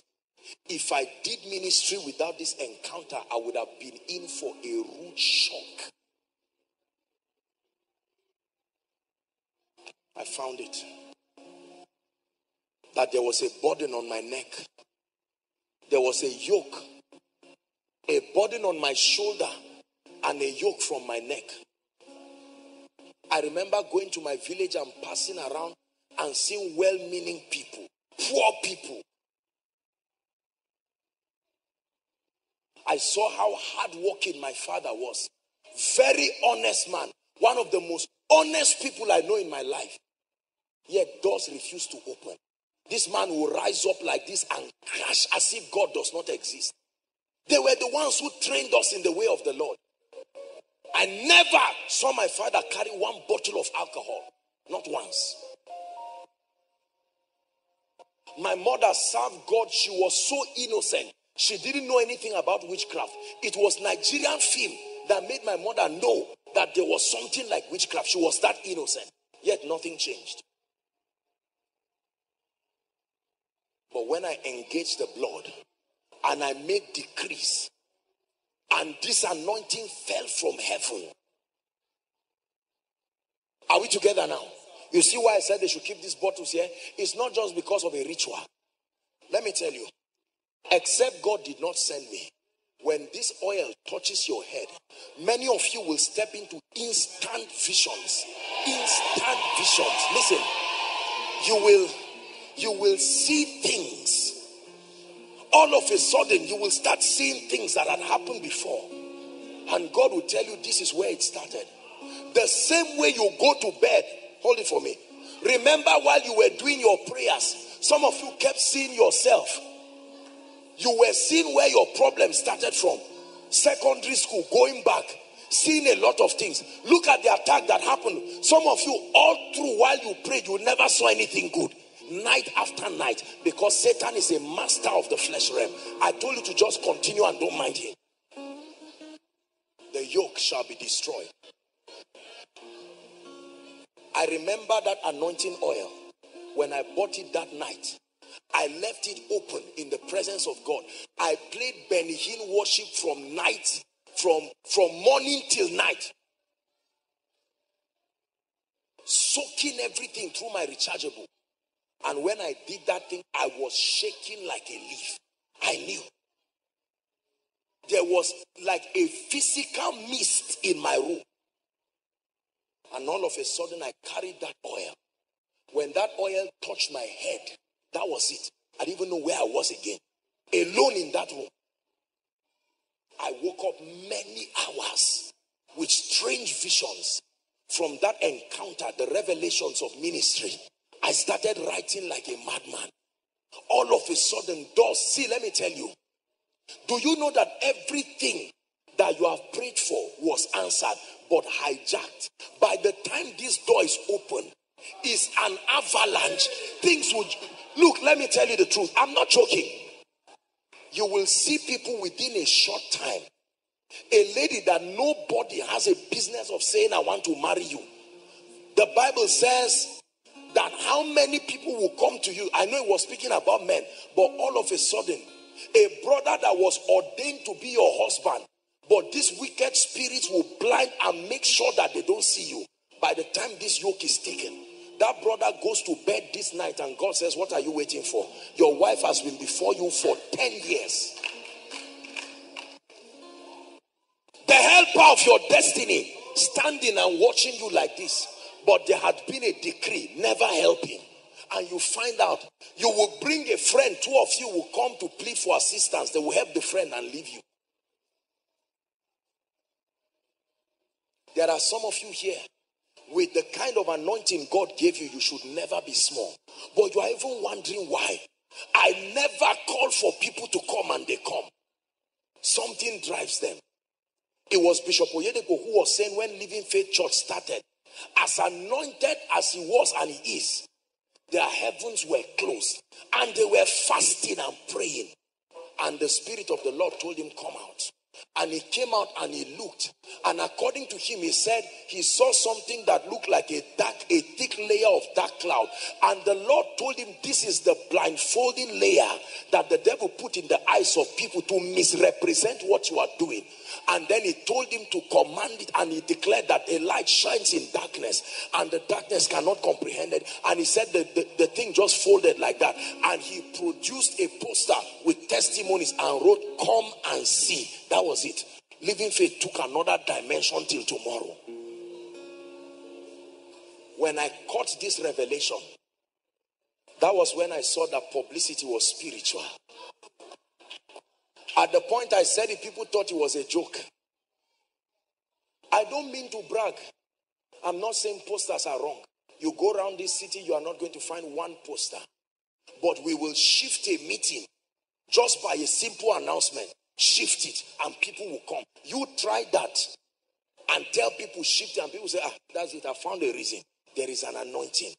When the yoke breaker comes and sits and his weight rests upon your life, I'm telling you, anything that is not him must give way. Are you ready to pray now? Rise up on your feet. Oh, oh,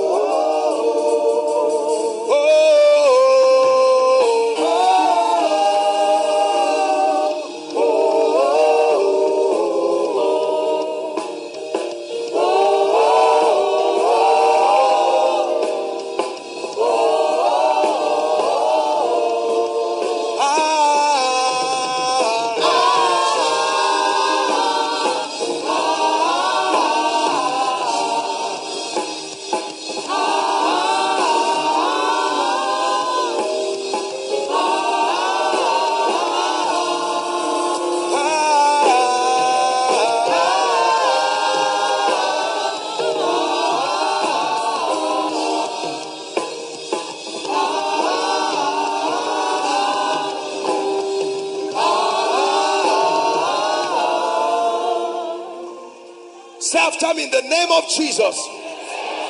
Please pray. In the name of Jesus, I declare that tonight is my night. I declare that everything that Jesus Christ did for me on the cross, it must be appropriated in my life tonight.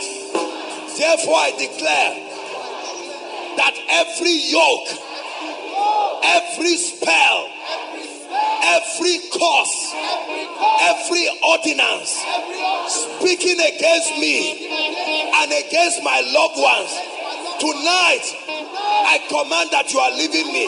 Open your mouth and pray. Pray.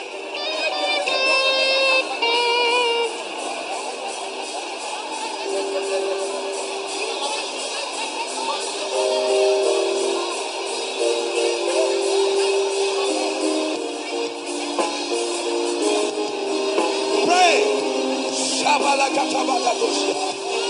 Sheketeketeketekete. Eprotosotobratabalakata. Hey.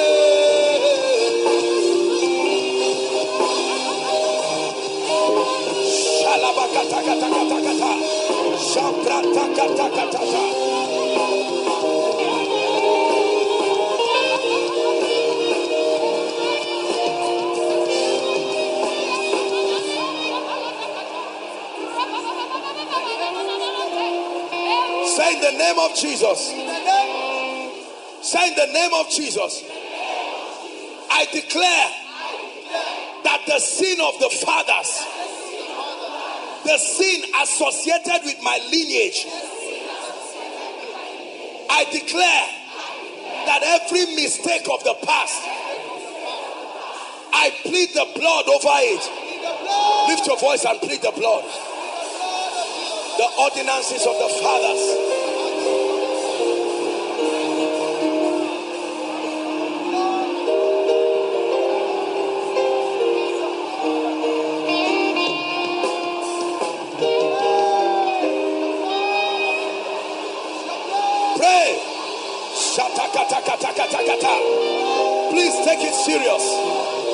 Wherever you are, just pray, pray. Sabaratoka shanamananabakata.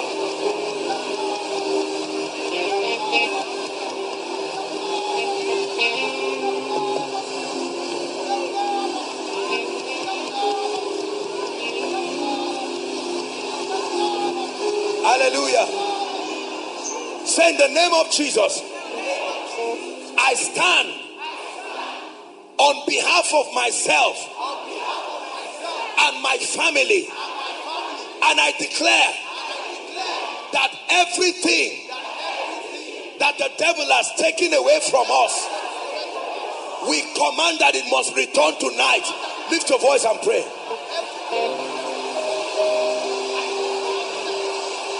Everything.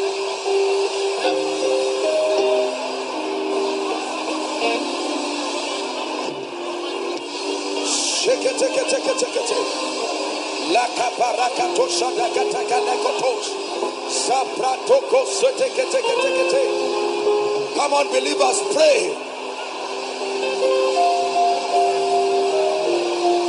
Hallelujah. Say in the name of Jesus. Say it again in the name of Jesus. You spirit, you spirit behind the tragedies in my life. Say every spirit behind the failures in my life, behind the delay in my life, behind every retrogression, behind every closed door. Hear ye the word of the Lord. Tonight, your legal hold is broken by the blood of Jesus. Lift your voice and pray. The spirit behind the cycles of failure, the spirit behind the cycles of defeat.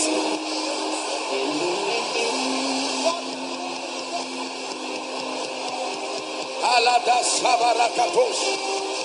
Shabarata kata kata kata kata.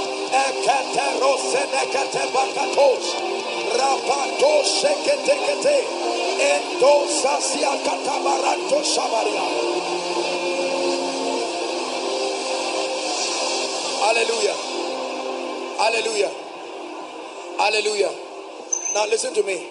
Please let me plead with you. I know that you can see that it's past nine. Please. I know today's service may take a few minutes, but I'm pleading with you for the sake of your destiny. Just be patient with me and let's address this thing this night. Are we together? Please don't let the devil. Many of you will find out right now that you are having the urge to just go. Is a spirit.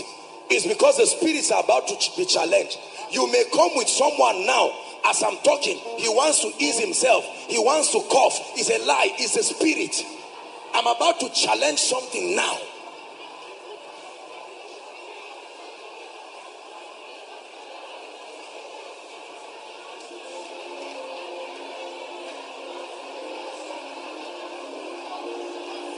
Hallelujah. Now, listen. This is what will happen. I'm going to pray on this oil. Please listen to the instruction, everyone. Those online, just get a bottle of oil so that while I'm praying, you can connect. If you are with your family members, get a bottle of oil. Even if they are sleeping, just touch their head. Please make sure everybody is touched by this oil. Are we together? If you have faith and you think you will not be embarrassed, you can even, the little oil that is in your hand, you can just place it on your stomach. Ladies, prophetically, you are touching your children unborn to say, No devil, no devil. John was filled with the Holy Ghost from his mother's womb.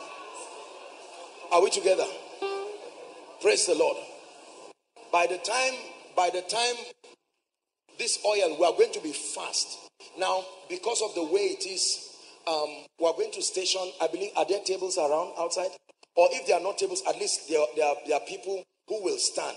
Now, this is what you will do. Please, we are going to coordinate. It's going to be very fast. There might be people falling under the anointing. We'll just help them. Please manage, help the usher so we don't injure anybody. Now, what I want you to do for me, please just obey instructions. By the time we bless this oil, just a little of it, touch it on your head. If you have a little one, you can touch it on their head and then go back to your seat and start blasting in tongues till you are done. Don't pray anything in understanding. Are we together? Just go back to your seat under the anointing or not. Just find somewhere and pray in the spirit.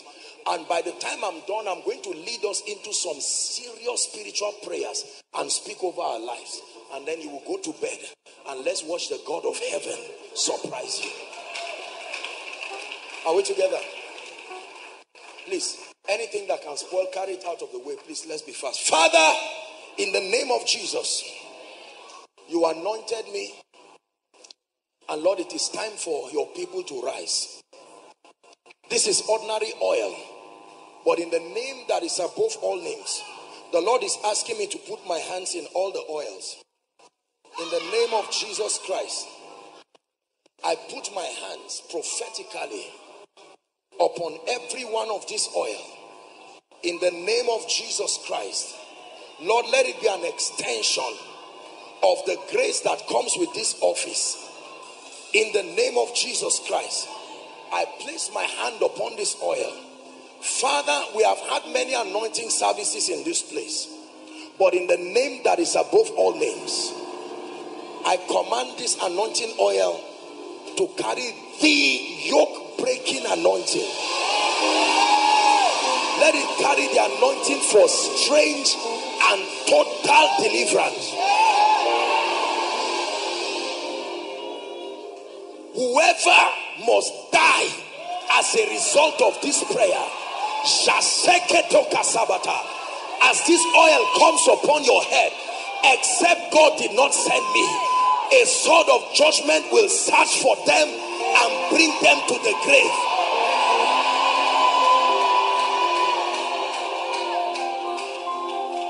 If there is any physical agent that has held your destiny and said, For as long as I'm alive, you will not move.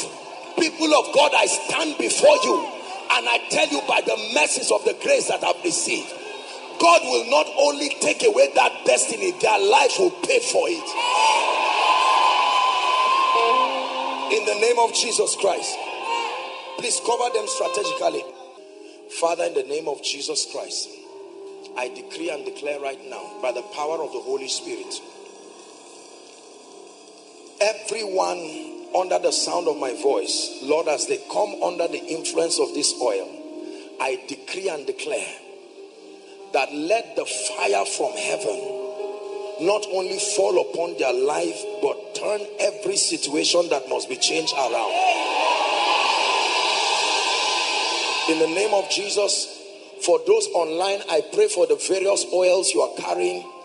In the name of Jesus as you anoint yourself and your loved ones let the embargo of darkness. No matter how long it has been let it break now and forever in the name of Jesus Christ God bless you please let's have people let's have them come quickly quickly you can start coming um, just coordinate them I, I honestly don't know how we're going to do it but we'll have to find a way yes you can find a way of even if it's for you to come and we can start from here and then you come and go or do whatever it is. Please, very, very quickly.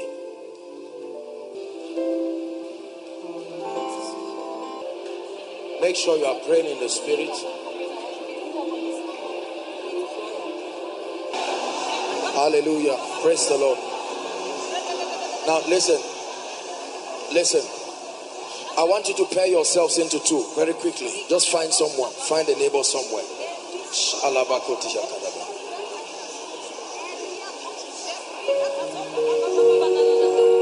in the next, our time is gone, but in the next three minutes, all I want you to do holding the hands of that person is to just blast in the spirit. Just pray in the spirit. Go ahead and pray. Ahead and pray.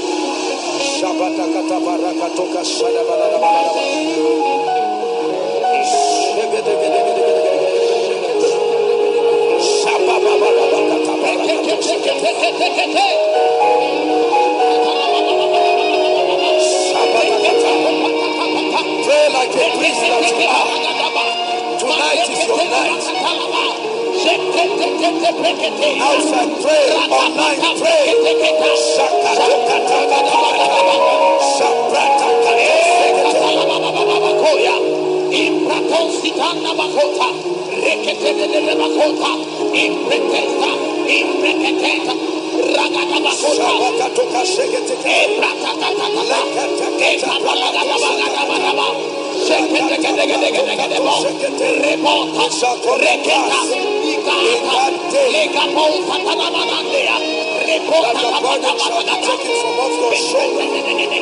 The yoke from off your neck. It shall be destroyed. Pray. Pray. Shabakata. Sheketeketekete.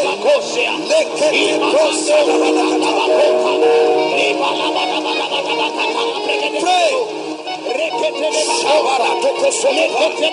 Shabakato. Ekatala kata shabata. Rakata. Ipata preketekeba, libando sitana manandea, preketekete Ipalagadagadagadosha. Hallelujah. In the name of Jesus. In the name of Jesus. Lay your hands on your head. Fire is burning in this place. Say in the name of Jesus. I declare in this season, may the glory of the Lord that is upon my head begin to speak now. Open your mouth and pray. Thou, O Lord, are a shield. You are my glory. You are the lifter. The lifter. A man's head can be lifted.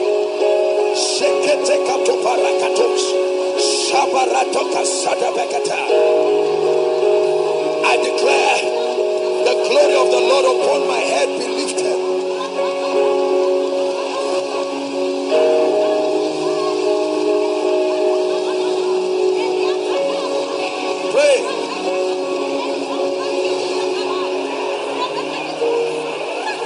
Hallelujah. He has broken the gates of brass and cut the bars of iron in sunder. Say in the name of Jesus, every chain holding my life, tying my destiny. Say it again, every chain holding my life, tying my destiny by the power of the Holy Ghost be broken now. Lift your voice and pray. Every chain, every chain, every chain. Alakato shabakata, rakata sate kato sekete, rekete kete nekete kete bosh.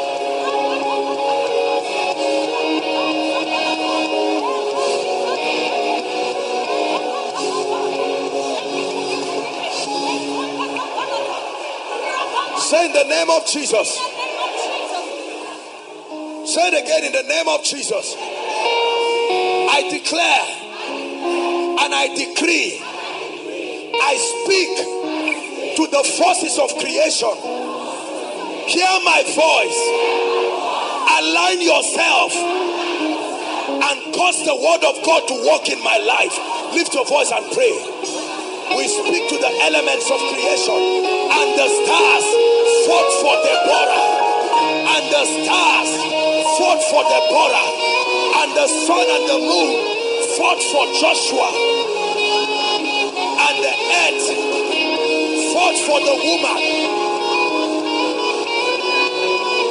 We command the elements of creation. Align yourself.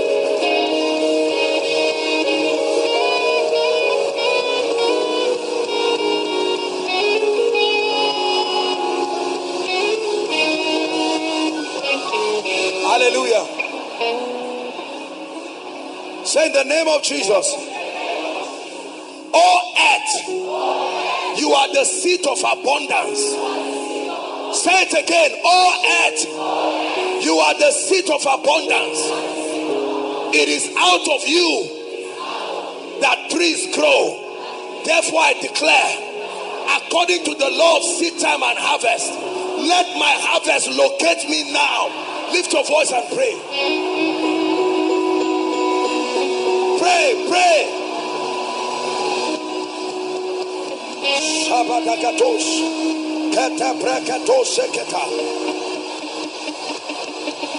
Let the people praise thee, O God. Let the people praise thee. Then shall the earth yield her increase. Hallelujah. Stretch your hands towards me.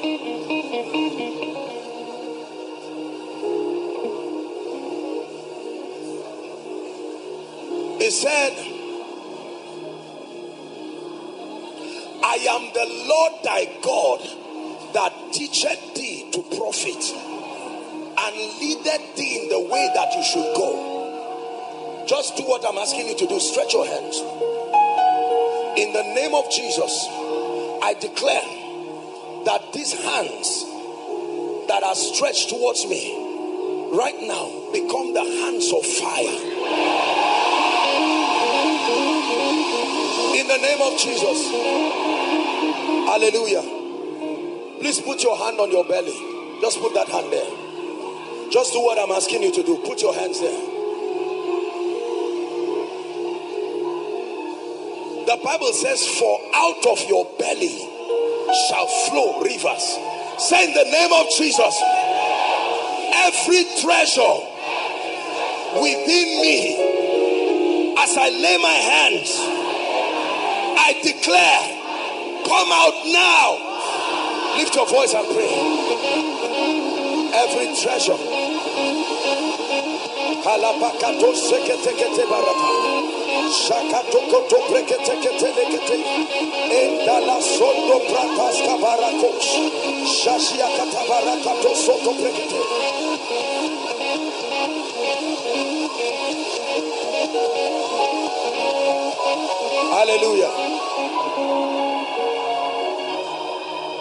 Hallelujah. We are going to round up. Don't mind all the prophetic acts we are doing. I want you to just trust my leadership in helping you get results. Are we together? Are we together? I'd like you to stand where you are and say, In the name of Jesus, I prophesy to the north. Say it, I prophesy to the north. I prophesy to the south. I prophesy to the south. I prophesy to the east. I prophesy to the east. I prophesy to the west. I prophesy to the west. Everywhere my help has been ordained to come from. In the name of Jesus, I call you. Locate me now. Lift your voice and pray. It comes from God, but it passes through men.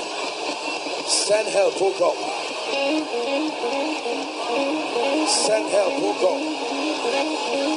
Send help, oh God.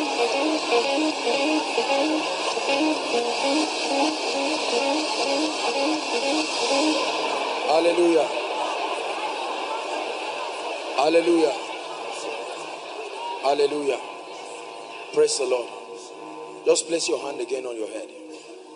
Now you are finished praying. Let me pray now.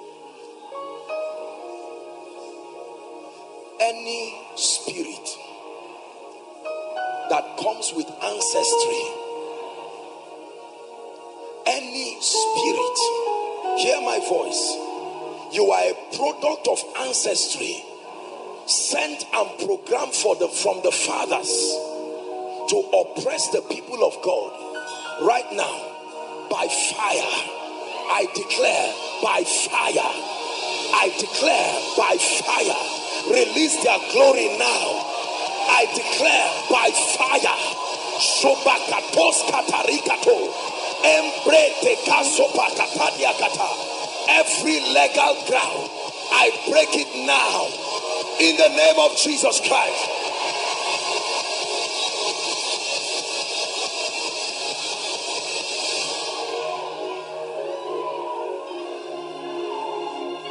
the spirits of delay that sit upon people's destinies so they don't move forward. Right now in the name of Jesus may the power of the Holy Ghost through this oil you have made contact with command those devils to leave now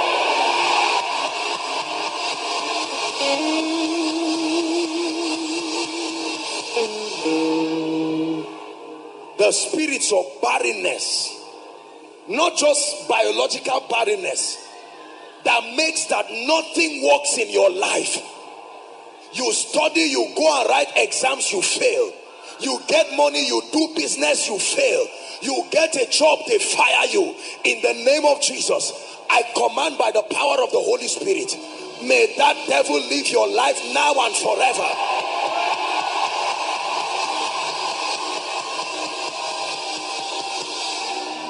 Ladies, I'm praying for you now. There is a spirit that draws only married men or wicked, ungodly men to certain sisters. They don't know why. No responsible person comes to you. Right now, in the name of Jesus, if there is anyone under the sound of my voice who is in this category, I command that devil come out of them now. Come out of them now. Come out of them now. Any spirit husband, any spirit wife, any demonic entity manipulating you in the night, coming to oppress you, in the name of Jesus, I declare now, be released in the name of Jesus. Be released in the name of Jesus. Be released in the name of Jesus. There's anyone here, I say it again. You always have dreams, seeing yourself in your former house, seeing yourself in your secondary school, seeing yourself repeating something you have already done. Shakos kapakatosha. Kebroto sosopekediakata. Right now, I shift you. Speed to your life. I cause the spirit of delay. Speed to your life. I cause the spirit of delay. Speed to your life.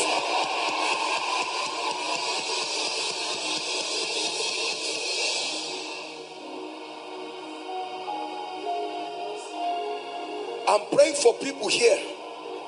Every year, or every two, two years, or every three, three years, the same pattern repeats in your family.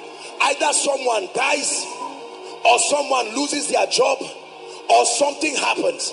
Right now, the yoke that creates patterns, I stand in the name of Jesus and I break it from your life.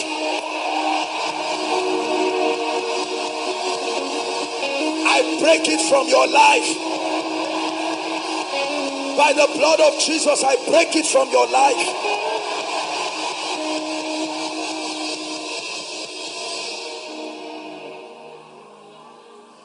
The moment something good is about to enter your hand, you go to bed and you have a dream.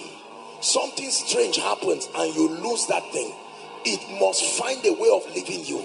I pray for you now in the name of Jesus. Everything that makes sure that you see things but never handle them, I cause that spirit from your life now. I cause that spirit from your life now. I cause that spirit from your life now. Hallelujah. I want to pray for you now. Whatever pattern you saw in your parents and you are seeing it now in your life, it could be poverty, it could be hardship, it could be failure. Jesus declared that it is finished. By the blood of the eternal covenant, he declared that it is finished. Therefore, I stand right now. I separate you from any pattern in your life that is tied to your lineage.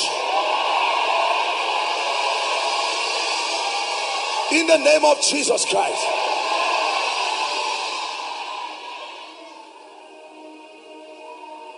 Hallelujah. I pray for students. The moment you enter the exam hall, something happens to you that you cannot explain. I pray for you.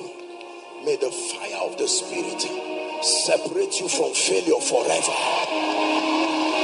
Separate you from failure forever. Separate you from failure forever.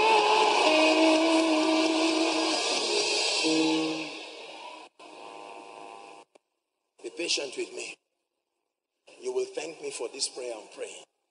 This is what I did for myself. We're rounding up.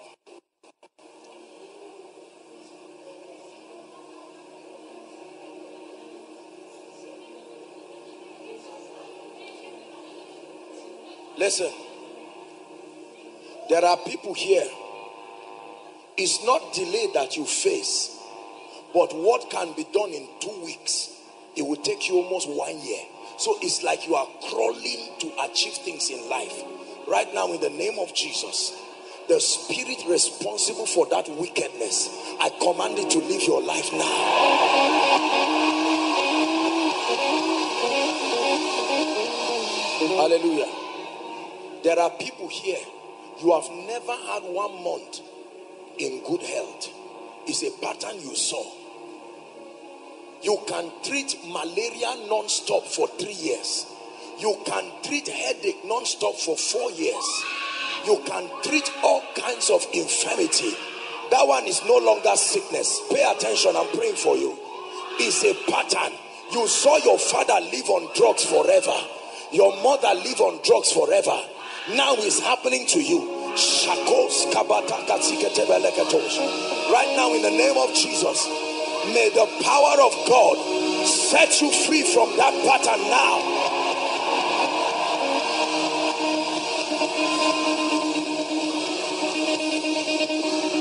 Hallelujah. Hallelujah.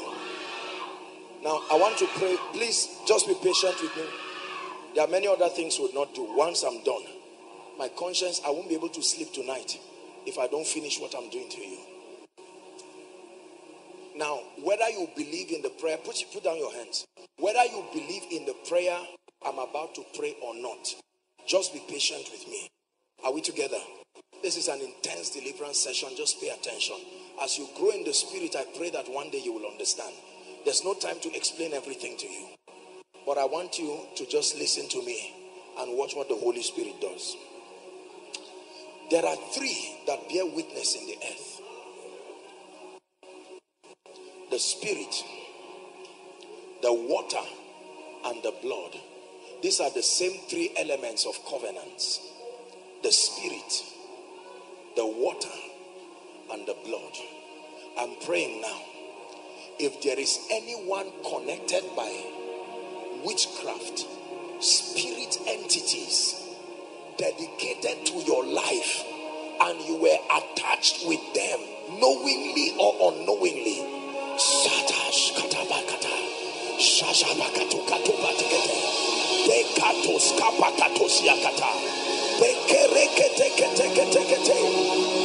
He is called the Father of spirits. Therefore, I decree and declare every spirit connected to you, lose them right now and let them go. Lose them right now and let them go.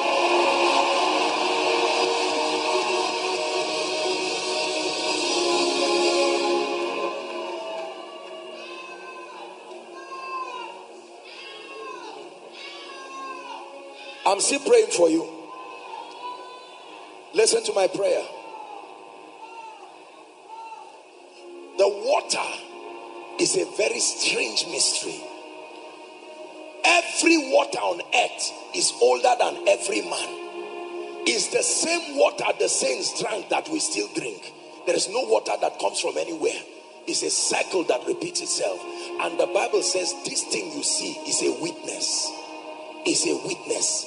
Therefore, I declare in the name of Jesus, there are spirits that operate in this domain. And let me tell you something truth be told, this is only false when it is relative to the power of God.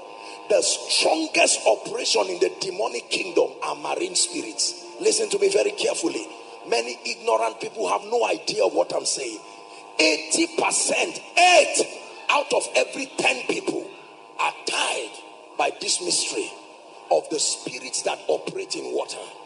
When the spirits that were casted out of the man in Gadara left, they were they drove the swine right into water.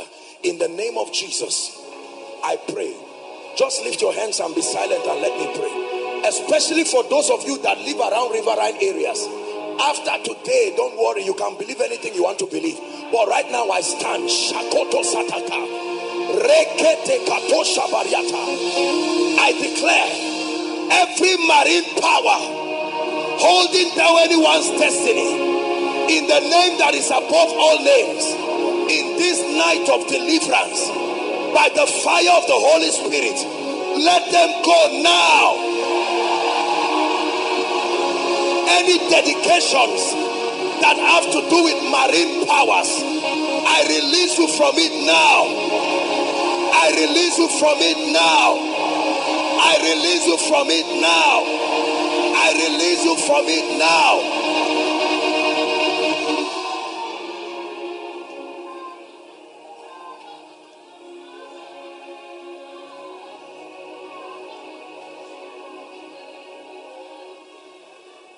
Very strong spirits. They can tie a man's life, tie a man's destiny forever. They can keep a woman barren for eternity.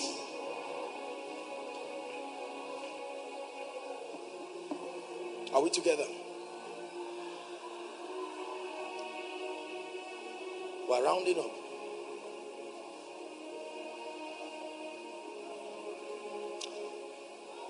There is anyone here who has been dedicated to any idol, you know that you saw things happen in your family. They brought one man or woman of God somewhere, or one herbalist, and tied your destiny to objects, made incisions in your body, gave you things to eat and drink in the name of protection. Shakos kapakatoshiata. Leketos. Rakatos kebata.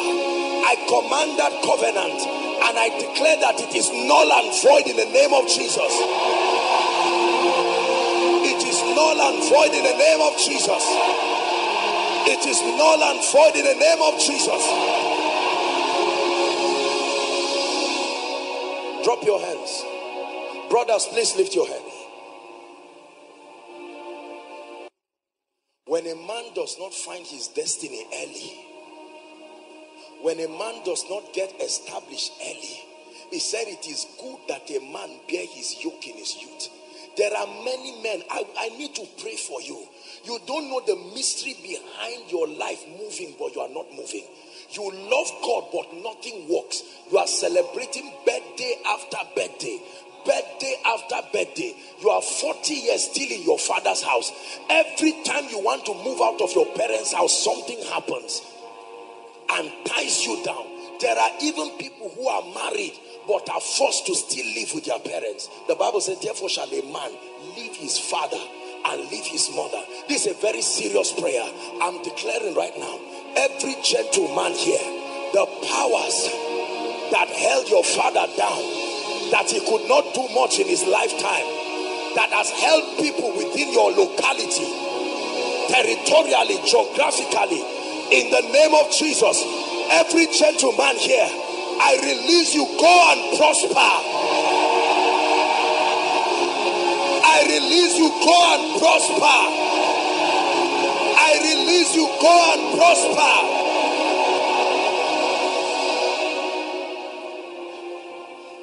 case your father or your mother or anybody cursed you and they are now dead, I stand here by this office in the name of Jesus. I reverse that curse over your life now. Maybe as a result of your past, you did something for your loved ones and in anger, they made a pronouncement. Don't say it doesn't matter. I stand in the name of Jesus by the ministry of God's mercy and grace, I speak over your life for every curse that has been pronounced upon your life. I release the blessing of the Lord. I release the blessing of the Lord. I release the blessing of the Lord. I release the blessing of the Lord.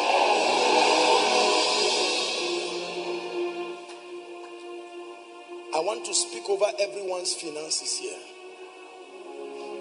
In the name that is above all names. See, let me tell you this. If you lack financial resources, your life will never move forward, no matter how well meaning you are. It takes financial resources to do ministry, to do business, to take care of these are little children here you see. There are many things. It takes finances to take care of your parents. It takes finances to get a blessing from them you will need to do something. They will not just bless you like that. He said, Make me venison that my heart will rejoice, that I will speak a blessing over you. I decree and declare whatever has closed the doors. And don't think just because you are getting a salary or you are getting something, you will not receive the prayer. Expand your capacity. I pray for you. Whatever has closed the door of financial resources to make sure you perpetually beg, I curse that spirit from your life forever. I curse that spirit from your life forever.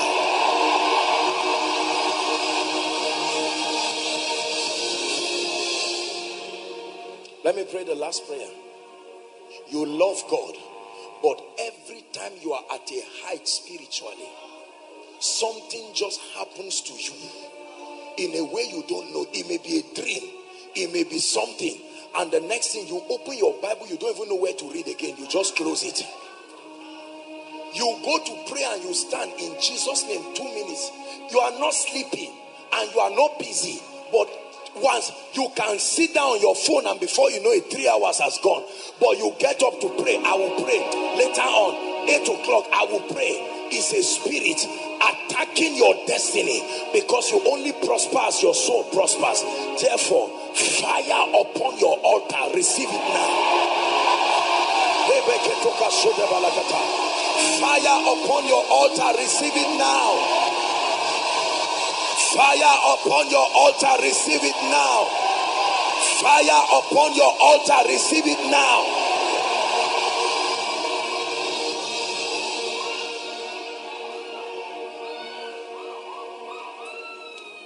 I'm praying.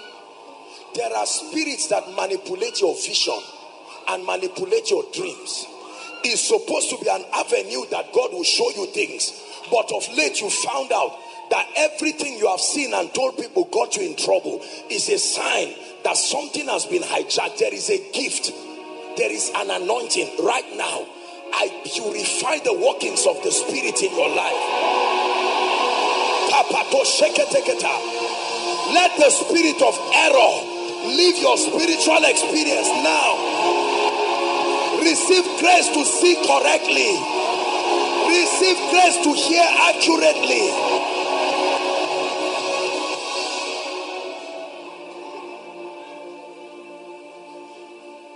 Finally, every family that is represented here,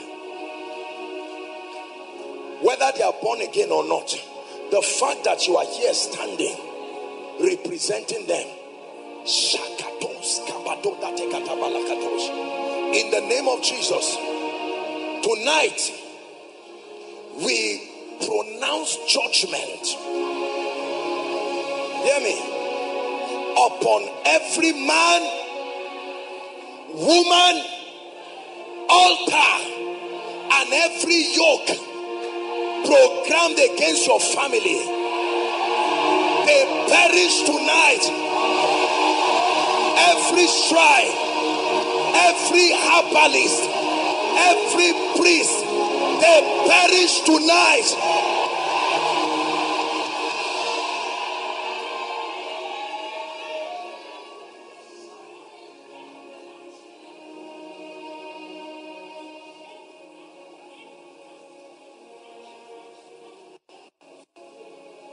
Father, we give you the praise. Declare in one minute, I am free. Wave your hands and give Jesus thanks. It's finished. Finally. Finally. I can arise again. Listen. When I did what I just led you to, I remember I went that night and I slept. And I began to see strange things. My destiny just opened up from page to page. New levels of the anointing came, new levels of fire. Let me tell you, I want you to sit tight and watch the excellency of light over darkness in the days that follow. This deliverance session will make you respect God in a way you have never done. Believe me when I tell you this. You watch out for the testimonies. You will see open. I'm not talking of testimonies, tea came, bread came. Testimonies that in one day the rewards of one year can come to a man because the yoke has been broken. Jesus, we give you the praise. And Father, we declare tonight your people have paid the price to stay this late, to see to it that the doors of their destiny is open. Father, I stretch my hands as your priest and I seal this deliverance session in the name of Jesus. Hear me. What you have been delivered from now, you will never be delivered from it again. The door that has been opened for you now, you will never pray for this door to be opened again. the chain that has been broken over your life, you will never have to pray for that chain to be broken again. The grace to enjoy the full benefit experientially of the victory of Christ in your life. I release that grace now. In the name of Jesus. Please give Jesus a hand clap. Amen. Hallelujah. Please keep standing. Our time is gone. This is your first time worshiping with us here at Koinonia. Hold on, please. If this is your first time, I know that our time is gone. Thank you so much for your cooperation. I don't want to end this service without acknowledging you. What a time in His presence. Wherever you are, aside from those at Overflow 3, Please, I'd like you to make your way right inside here. Just stand before me and let me speak a blessing over your life. God bless you. Let's honor them as they come out. God bless you. God bless you. Koinonia, is this how you honor people?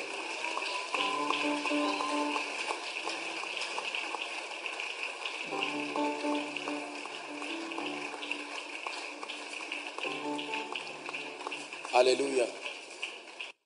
By the way, let me challenge you.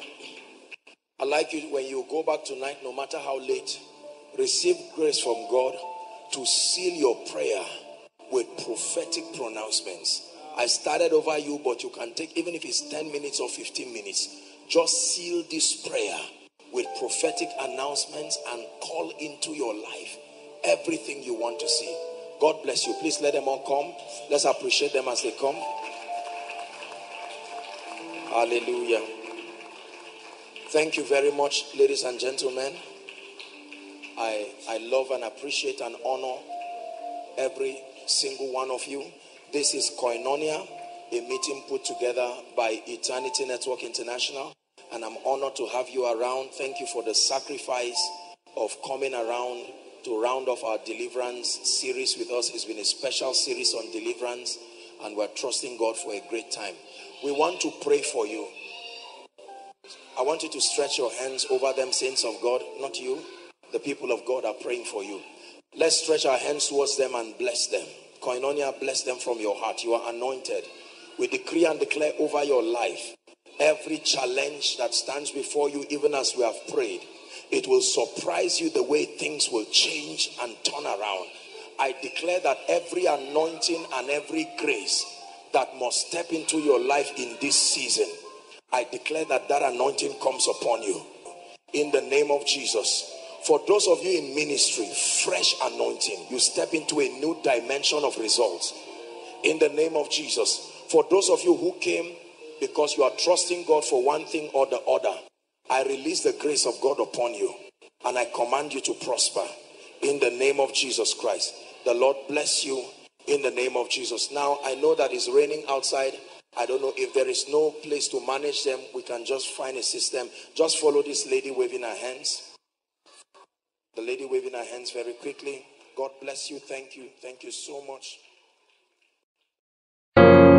We believe you are mightily blessed. To connect with the ministry and get more from Apostle Joshua Selman, follow us on Facebook and Twitter at Koinonia ENI To stream Koinonia live, Go to mixlr.com um, oh, forward slash koinonia radio and download the teachings on koinoniasermons.org. For questions and inquiries, call 0814 721 4444 or 0907 777 7853. We love and celebrate.